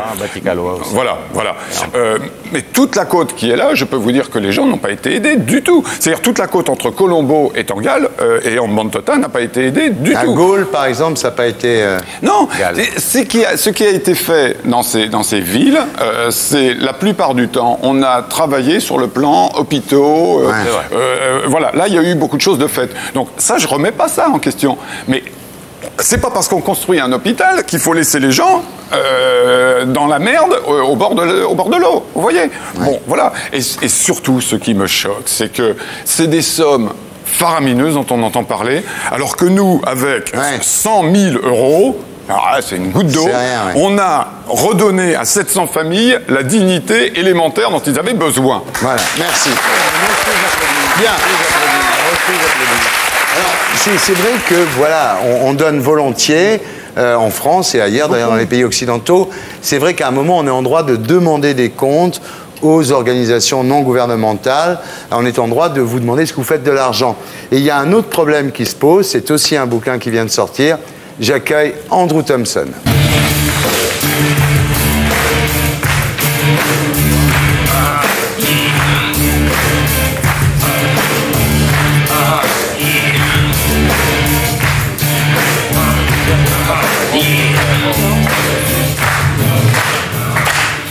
Bonsoir, bonsoir, Andrew Thompson. Vous êtes néo-zélandais, euh, vos parents étaient missionnaires dans les îles Salomon et Fidji. Euh, vous, vous étiez médecin dans un hôpital à Auckland où vous rencontrez un médecin cambodgien qui vous parle de sa vie sous les Khmers rouges. Voilà, la famine, le travail forcé, les exécutions, le génocide. À partir de là, dans votre hôpital d'Auckland, vous lisez tous les livres que vous pouvez trouver sur le sujet et vous voyez un film très important qui est La déchirure, le film de Roland Joffé. Alors, au bout de trois ans d'incertitude, vous vous rendez compte que votre vie finalement n'est pas si, si utile que ça et vous décidez de partir au Cambodge selon une formule qui vous a été apprise par vos parents, accéder au bonheur en servant les autres. Une, une très, belle, une très belle formule. Alors, d'abord, vous travaillez à la Croix-Rouge, ensuite à l'ONU, et là, vous découvrez une réalité très négative pour le nu. C'est ce que vous racontez avec deux camarades dans un livre intitulé Il faut sauver la planète trois idéalistes dans l'enfer humanitaire, qui est publié chez Payot. Alors quand on vous dit, mais comment osez-vous cracher dans la soupe de l'humanitaire? Comment osez-vous dire du mal de l'ONU, dont, la mission est quand même d'apporter la paix et le réconfort à tous les terriens?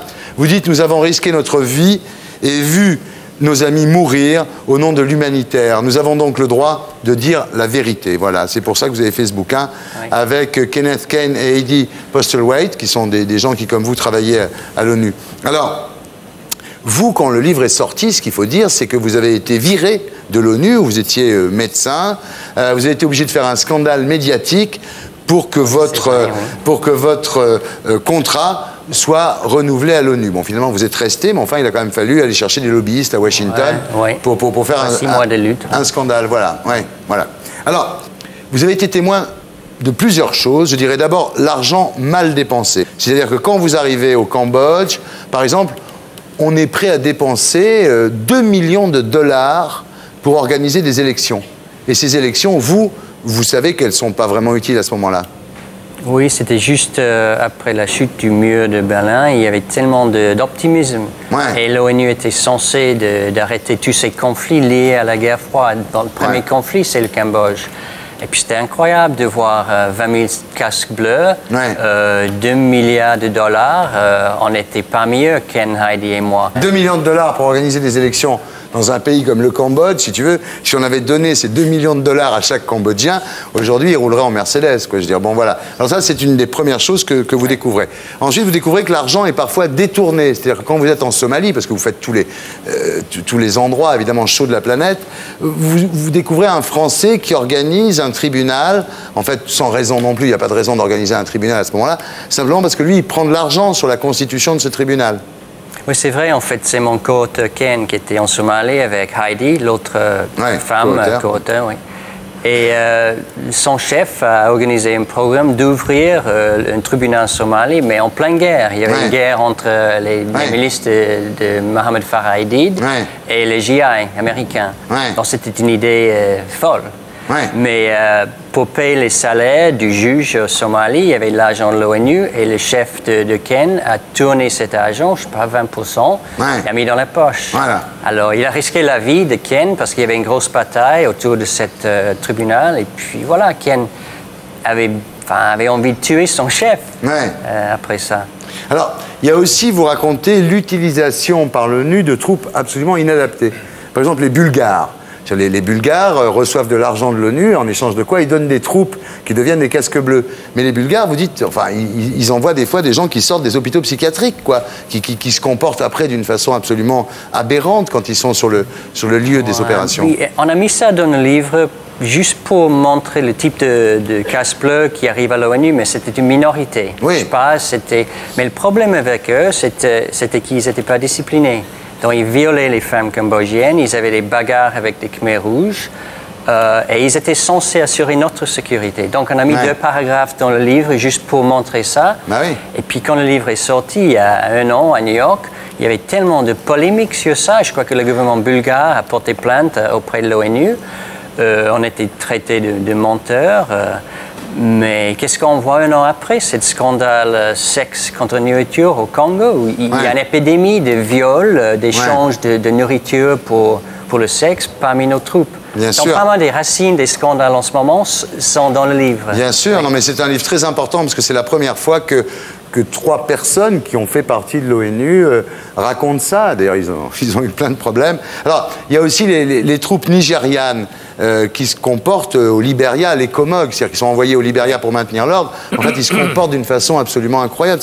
Ils pillent, ils volent, ils violent les femmes. Enfin, c'est, soi-disant, ils sont là pour l'ONU, mais Bon, il faut dire qu'après l'échec euh, en Somalie avec cet épisode de, de chute du, du Faucon Noir, les Américains se sont retirés. C'était un très jeune euh, président Clinton. Il a perdu euh, du courage. Donc il n'y avait plus de troupes américaines dans ces missions de maintien de paix.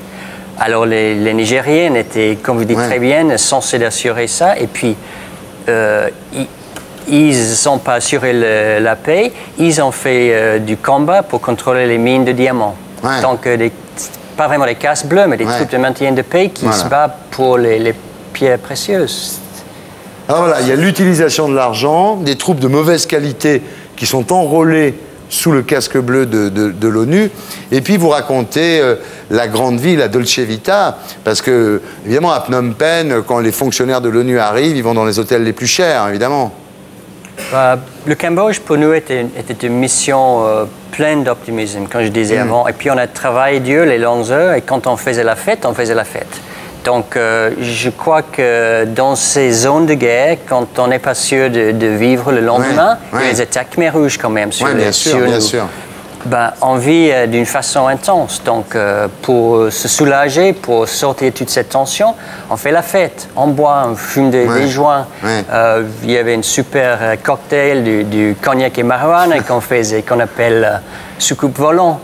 On prend un peu de ça et puis on est juste en train de flotter. euh. Donc vous dites par exemple à Phnom Penh, il y a des flottes de voitures extrêmement chères, c'est exactement ce que dit euh, Philippe Gilbert au, sujet du Sri Lanka, c'est-à-dire qu'il y a eu 6000 Land Cruiser, quoi. c'est quand même 6000 Land Cruiser, c'est quand même des voitures qui valent une fortune.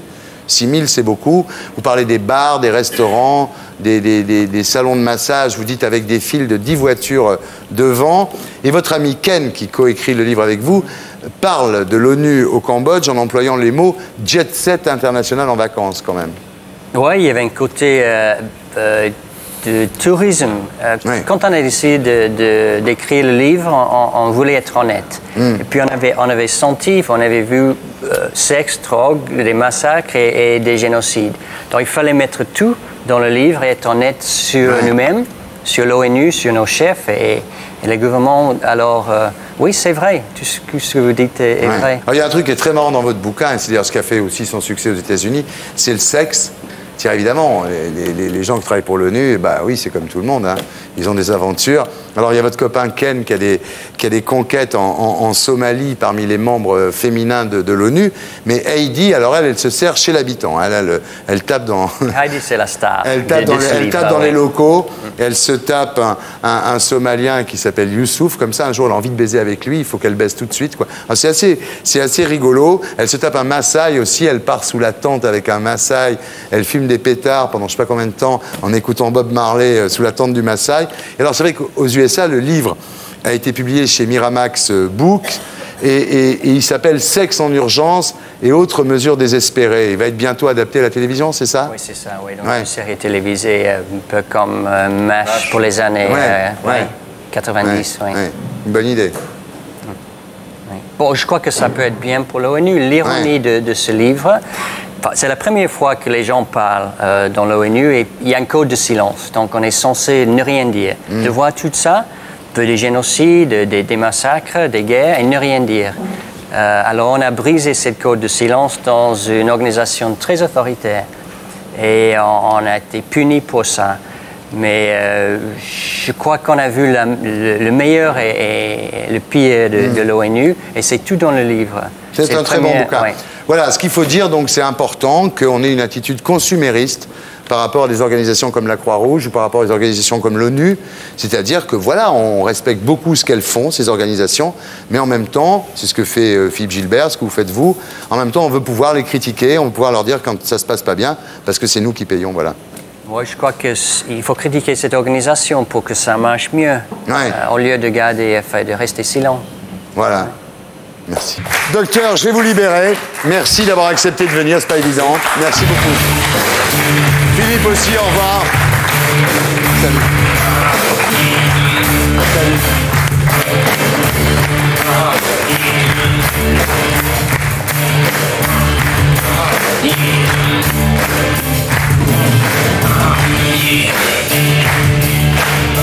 J'accueille Ingrid Pedersen Lennon.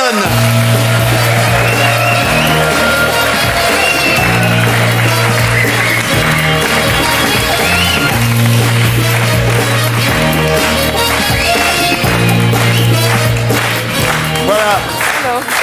John Lennon avait une sœur cachée. C'est vous. Vous êtes la fille de Julia. Julia, qui était une épicurienne, qui aimait prendre du bon temps, femme très jolie, mais qui trompait allègrement son mari, Alfred Lennon, le père de John, qui avait le tort d'être marin. Voilà. Quand Julia est enceinte de vous, euh, Alfred, son mari, est en mer, et pour éviter le scandale, elle vous confie, Ingrid, à un couple d'amis, les Pedersen, dont l'homme, Peder Pedersen, est sans doute votre père. Yes. Oui. En fait, vous avez été adopté par votre propre père, d'une certaine façon. That's right. Oui, c'est Yes, ça. that's right. Exactement. Les époux Pedersen font modifier votre état civil. Vous devenez Ingrid Pedersen, donc vous êtes, euh, voilà, vous disparaissez en tant que fille de, de Julia Lennon, et il ne vous parle jamais du passé. Vous passez donc les 11 premières années de votre vie à Liverpool, à deux pas de votre frère John Lennon et de votre mère Julia Lennon. Mais le silence est assourdissant. Vous commencez à éprouver de drôles de sensations. Vous avez un sentiment confus que quelque chose ne colle pas. Et un jour, vous demandez à votre mère si vous êtes une enfant adoptée. Um, no. She said Euh, no. elle m'a dit non. She didn't tell me Elle ne anything. m'a pas dit que j'étais adoptée. Ouais. Alors les Pedersen décident de s'installer dans le Kent, et là, vous devenez une fan d'Elvis Presley. C'est-à-dire que ne sachant pas que vous êtes la sœur de John Lennon, vous adorez Elvis Presley. Les Beatles, vous vous en foutez en fait. I did, yes. C'est vrai, je préfère Elvis. Ouais. Et là, dans le Kent, euh, ça va pas très bien. Vous fumez votre première cigarette à l'âge de 7 ans, vous buvez votre première vodka à l'âge de 12 ans, bientôt vous ajouterez les, les tranquillisants, en, en réponse à des crises de panique. C'est-à-dire vous avez des crises d'angoisse très très graves, sans savoir pourquoi en fait à ce moment-là. That's right. Oui, c'est Um, vrai. There was a lot of tension and J'ai beaucoup de tension, je n'étais pas heureuse. uh, adopted family home. J'étais dans une famille adoptée, il régnait une grande tension. I knew there was something wrong. Je savais qu'il y avait quelque chose qui ne tournait pas rond. I didn't know what it Mais was je ne savais pas ce que c'était exactement, puisque ma mère adoptive ne me l'a pas dit. Elle ne m'en a pas parlé, elle ne m'a rien expliqué. Alors vous rencontrez un homme, euh, vous décidez de vous marier, mais il vous faut un acte de naissance. Donc vous écrivez à la mairie de Liverpool, qui ne connaît aucune Ingrid Pedersen, et pour cause. Et à ce moment-là, votre mère vous révèle que vous avez été adoptée et que vous êtes la sœur de John Lennon. À ce moment-là, pourquoi est-ce que vous n'allez pas voir John Lennon? Quand vous savez, le jour où vous apprenez que vous êtes sa sœur, pourquoi est-ce que vous n'allez pas le voir? No. Bien, je n'y suis Uh, I pas allée parce que je ne pouvais Um, pas, tout I simplement. made a promise Je- to my adopted mother J'avais fait une that I would promesse, not le look serment à ma mère adoptive. Je lui avais dit que je ne chercherais pas John parce que ça lui ferait trop de mal. Ouais. Et je ne pouvais pas lui faire ça. Voilà, donc vous n'en parlez plus. À partir de là, c'est fini. Vous n'en parlez plus jamais avec votre mère. Not a word, no. Non. Never spoke about Nous it. n'en avons plus jamais parlé. Ouais. Jamais. Alors, pourtant, John Lennon vous cherche, hein Il cherche à retrouver sa sœur. Oui. Yeah.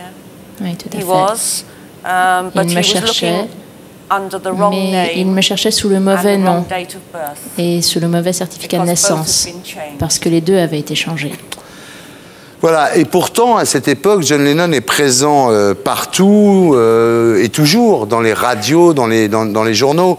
Vous commencez à lire tout ce qui a été écrit euh, sur lui, vous vous préparez pour une rencontre. C'est-à-dire qu'à à ce moment-là, vous, vous, vous pensez que vous allez l'appeler, aller le voir. That's what I hope to do. Oui, j'espérais faire cela. Um, never believing that he would Je n'ai jamais pensé qu'il pouvait être assassiné. I always wanted to. Je voulais le rencontrer, je voulais rencontrer mon frère et, tous mes, et toute ma famille, mais je n'ai pas pu le faire à cause de him. Chapman qui l'a assassiné. Et ça, vous l'apprenez un soir à 19h en regardant la télévision.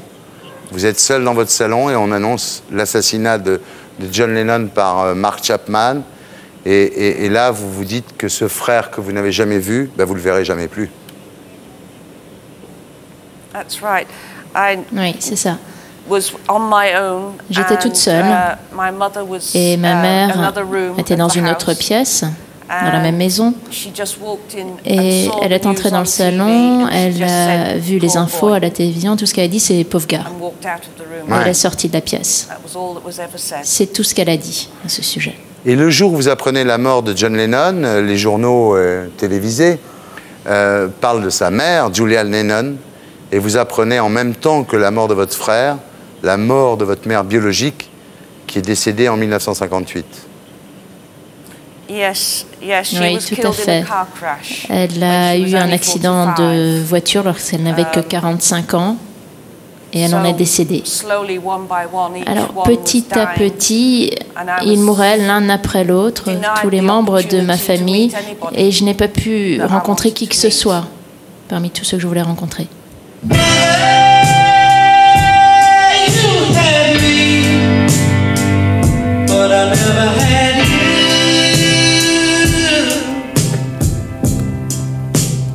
Ce n'est qu'à la mort de votre mère adoptive, Madame Pedersen, donc, que vous déciderez de lever le secret sur votre, sur votre origine. À partir de là, vous n'avez plus aucun problème pour en parler. No, no. I was suddenly, Non. I was free. Tout à coup, je me suis trouvée libre, libre de faire ce que je voulais faire for many years. depuis des années finalement.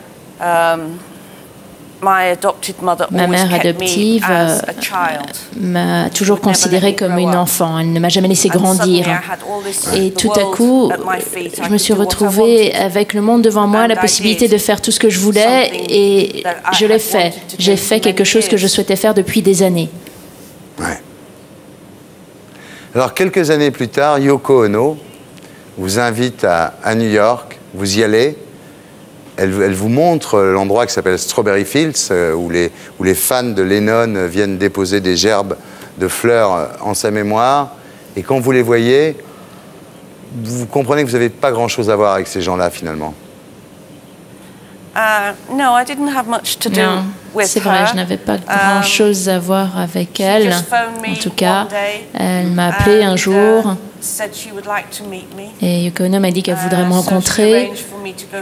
Et donc, elle m'a invité à New York buildings pour que j'aille la rencontrer à Dakota Building, là où John et elle vivaient. Et puis, elle m'a emmené à Strawberry Fields, à Central Park. Et puis, elle m'a montré les endroits où John et elle allaient se promener. It was only a two-day trip, but it Je ne suis restée que deux jours. Bon, c'était intéressant. Mais vous avez quand même eu le sentiment d'avoir raté également ce rendez-vous-là, non? I didn't get the chance to talk Mais en to fait, je n'ai as pas eu la possibilité de parler à I would have Yoko autant to que have je l'aurais aimé. J'aurais a voulu avec, avoir avec elle une conversation was vraiment intime et ce n'a pas été possible. Elle, a- minder with her. elle avait toujours un chaperon avec And elle he controlled et il contrôlait the questions and à la fois les questions, les réponses. It was very difficult Et donc to c'était très difficile de Ouais. parler avec elle finalement. Alors aujourd'hui, vous vivez en France, vous vivez en Mayenne, Yes.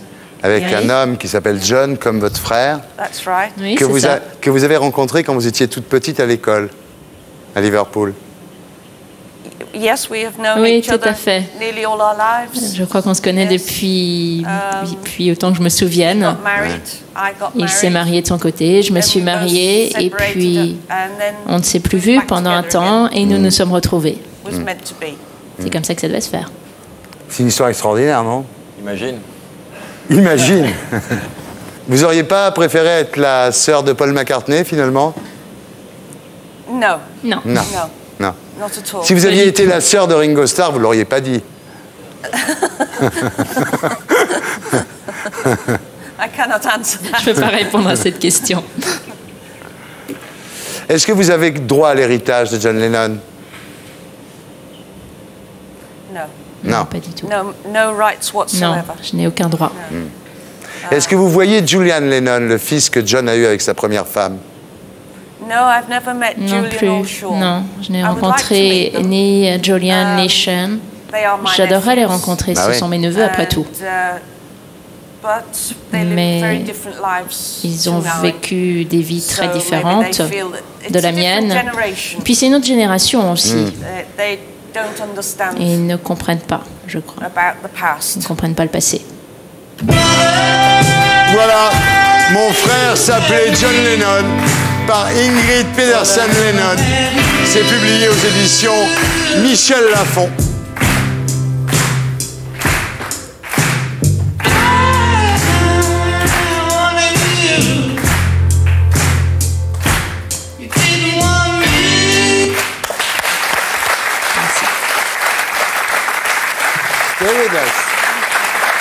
On passe au blind test.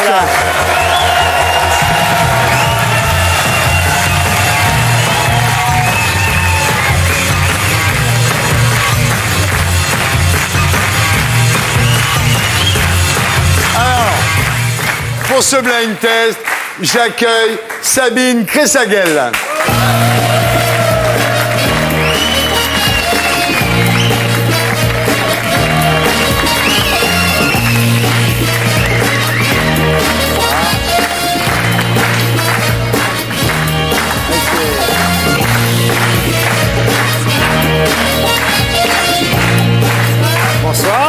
Sabine. Bonsoir. Alors vous animez le top 50 sur MCM Ouais. à 16h45. Faites Ouais. d'autres choses à la télévision? Oui, je fais un magazine de société aussi sur euh, France 3 régions, Paris-Île-de-France, Nord-Pas-de-Calais, Picardie et Normandie. Ça s'appelle Ça nous regarde. Et c'est diffusé à 12h50 tous les dimanches. Mais on va le regarder, on va être obligé maintenant. On va être obligé de regarder France 3 à 12h50 le dimanche.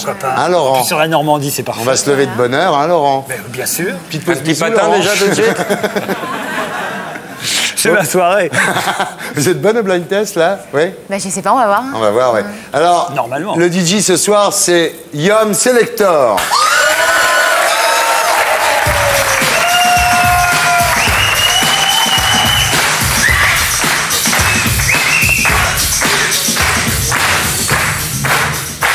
Guillaume de Saint-Phal dit Yom Selector. Voilà, comment ça va?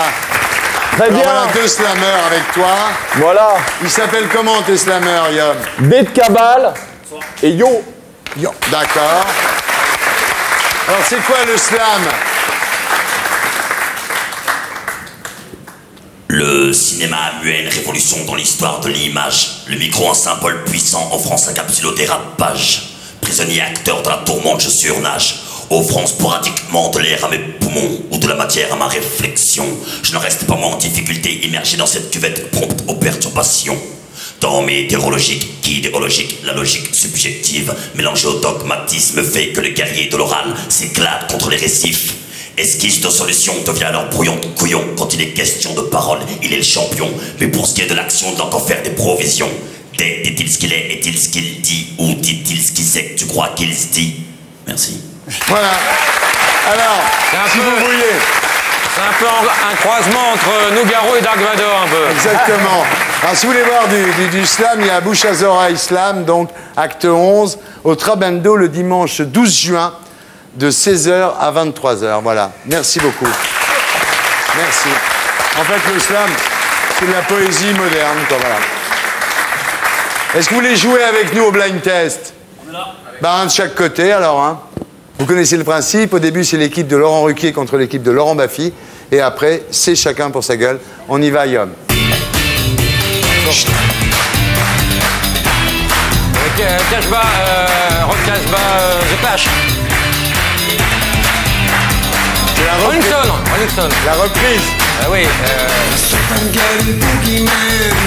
Oui, Rachita. Ouais Laurent Baffy.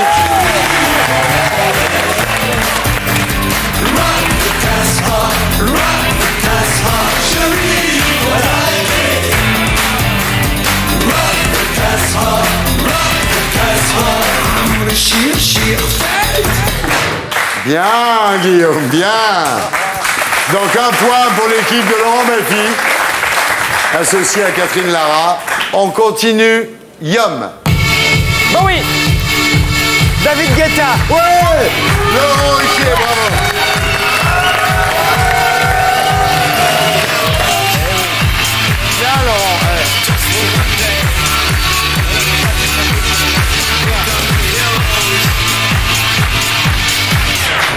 Un point partout.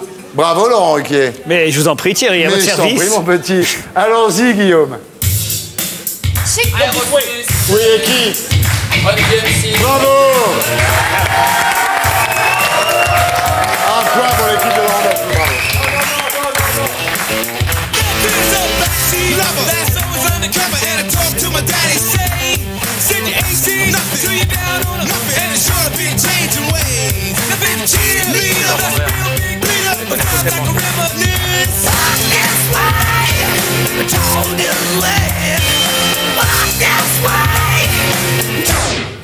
Bah alors, la sœur de John, faut se réveiller, hein Ouais Faut nous aider On y va I don't know. Je connais pas.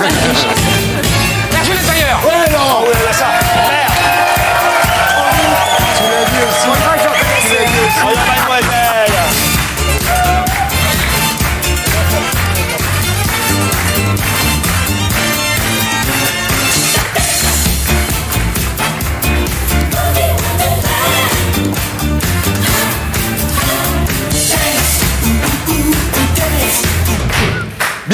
Ça nous fait 3 points pour l'équipe de Laurent Baffy. Là, il faut qu'on se réveille, Ah ouais, là. faut vous réveiller là, enfants. Maintenant je joue. Maintenant je joue. Elle fait le top 50, elle devrait connaître Mais tout oui, ça enfin. par cœur. C'est pas classé là, en ce moment. Je suis en train de Ah faire la fille de Bollock et Solo et elle ne gagne pas, enfin, franchement. Yum Les Stones. Ouais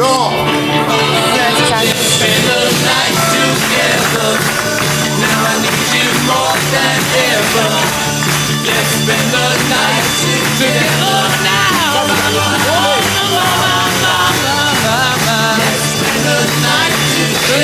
Ah mais la sœur de John Lennon, elle- la, la- la sœur de John Lennon, elle, elle écoutait Elvis Presley au lieu d'écouter les Beatles et les Rolling Stones. Elle savait pas qu'elle était la sœur de John Lennon. Sinon, elle aurait écouté John Lennon et les Stones, bien sûr. On continue. C'est un petit Yann. Elvis qui va sortir. Eh oui. Chic Chic Le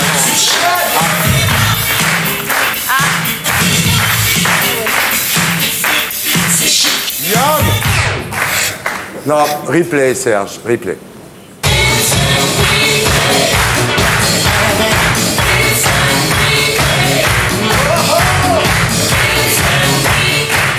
Petit Elvis qui va sortir. Chic, chic, chic. Je crois que c'est, je crois que c'est la petite qui a trouvé. Ça pense. fait, un, Ah ouais, ça fait un point de plus pour l'équipe de Laurent Ruquier. C'est évident.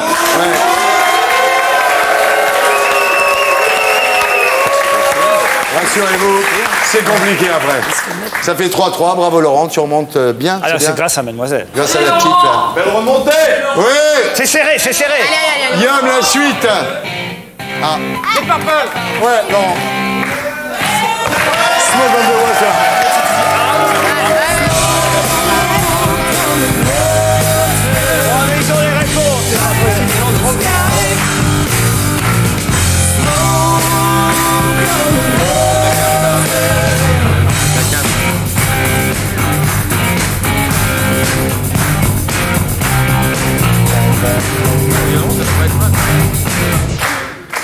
Eh ben dis donc, ça fait 4 pour Bafi, 3 pour Ruquier. Bon, on se réveille, on se réveille. Allez, on y va, Yum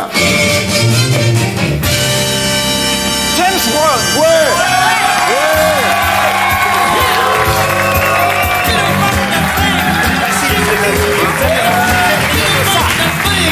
C'est bien, dis donc. hein.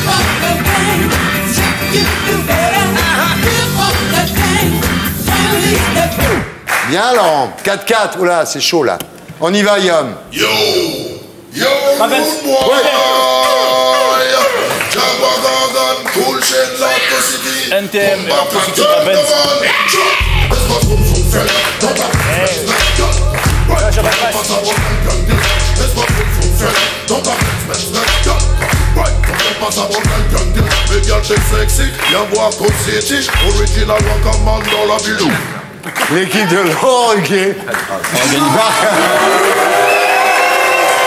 Attention, le dernier morceau du par équipe. Faut dire quand même qu'on a la sœur de John Lennon avec nous. Ouais, faut on dire ça aide, ça aide. Allons-y. Yum, le dernier. Marley Ouais.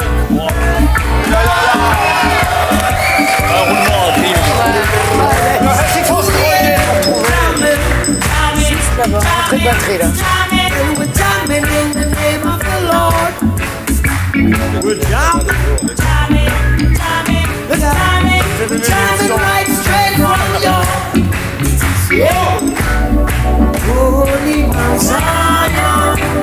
Voilà, donc à l'issue du par équipe, nous sommes à 5-5. Bravo. Bravo à nos deux équipes. Et maintenant, nous passons au chacun pour soi. Plus d'équipe, plus d'amis, vous connaissez le principe. On Mais y plus va. amis, c'est fini. Yum ah, C'est dur. Ah, c'est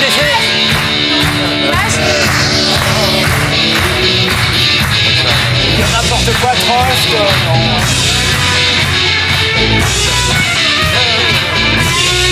Tu restes là.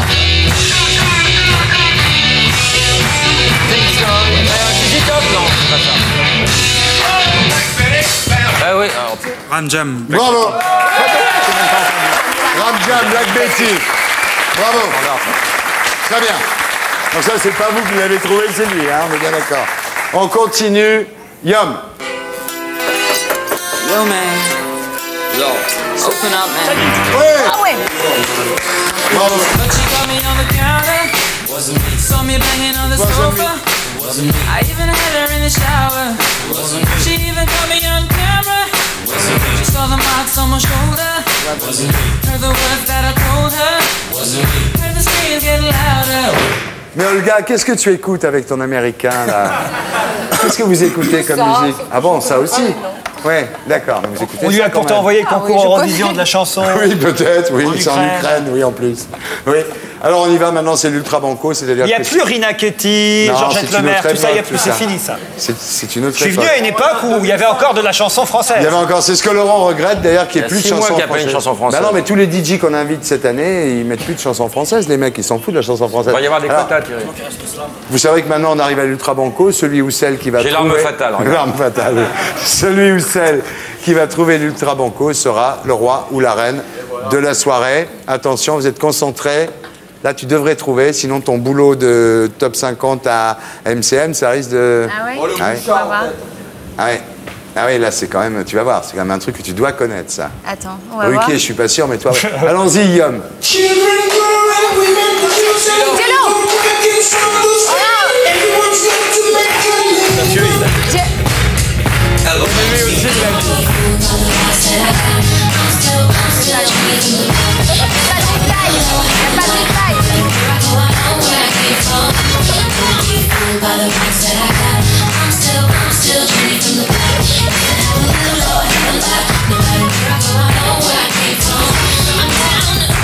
Non, il l'a dit, je suis désolé. Ouais, mais je- Tu es juste dans le Elle souffle. Jill.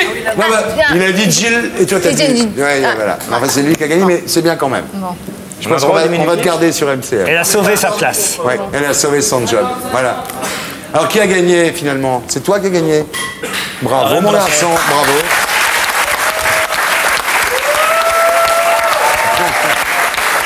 Merci Yom. Donc bouche à oreille, slam, trabendo le dimanche 12 juin de 16h à 23h. Voilà. Le, slam, entrée libre, le slam c'est la poésie en fait, non Absolument. C'est la poésie d'aujourd'hui Absolument. C'est aussi simple que ça, merci. C'était Tout le monde en parle avec Laurent Baffy, Dominique Ambiel, Fort Matignon chez Plon, Jean-Michel Jarre, coffret DVD, Jarre in China, Anne Parillo, Deadlines de Ludy Bucken et Michael Lerner avec Anne Parillo, Stéphane Moyer. Ça sort le 8 juin, plus la bande originale du film. Jamiroquai, l'album s'appelle Dynamique. Il sort le 20 juin et il est en tournée le 21 juillet à Golfe-Juan et le 22 juillet à Nîmes. Laurent Ruquier, on va se gêner les meilleurs moments de son émission sur Europe 1. C'est édité chez Plomb Europe 1. Olga Kurilenko, l'annulaire de Diane Bertrand avec Olga Kurilenko et Marc Barbet. C'est le 8 juin en salle. Catherine Lara, l'album s'appelle Passe-moi le ciel. Le single s'appelle Petit homme. Il y a notre album qui est Graal. Merci Catherine. Philippe Gilbert, Les larmes de Ceylan, édition des Équateurs. Robert Sebag de la Croix-Rouge, merci d'être venu. Andrew Thompson, Il faut sauver la planète, c'est chez Payot. Ingrid Pedersen Lennon, merci. Mon frère s'appelait John Lennon, c'est chez Michel Lafont. Le DJ Yum Selector, et je rappelle encore une fois, Bouche à oreilles, Slam Act 11 au Trabando, le 12 juin 2005 à partir de 16h. Entrée libre, voilà. Et au blind test, Sabine Gressaguel, qu'on retrouve dans le top 50 du lundi au vendredi à 16h45 sur MCM. C'était Tout le monde en parle. Merci de votre fidélité. Rendez-vous la semaine prochaine.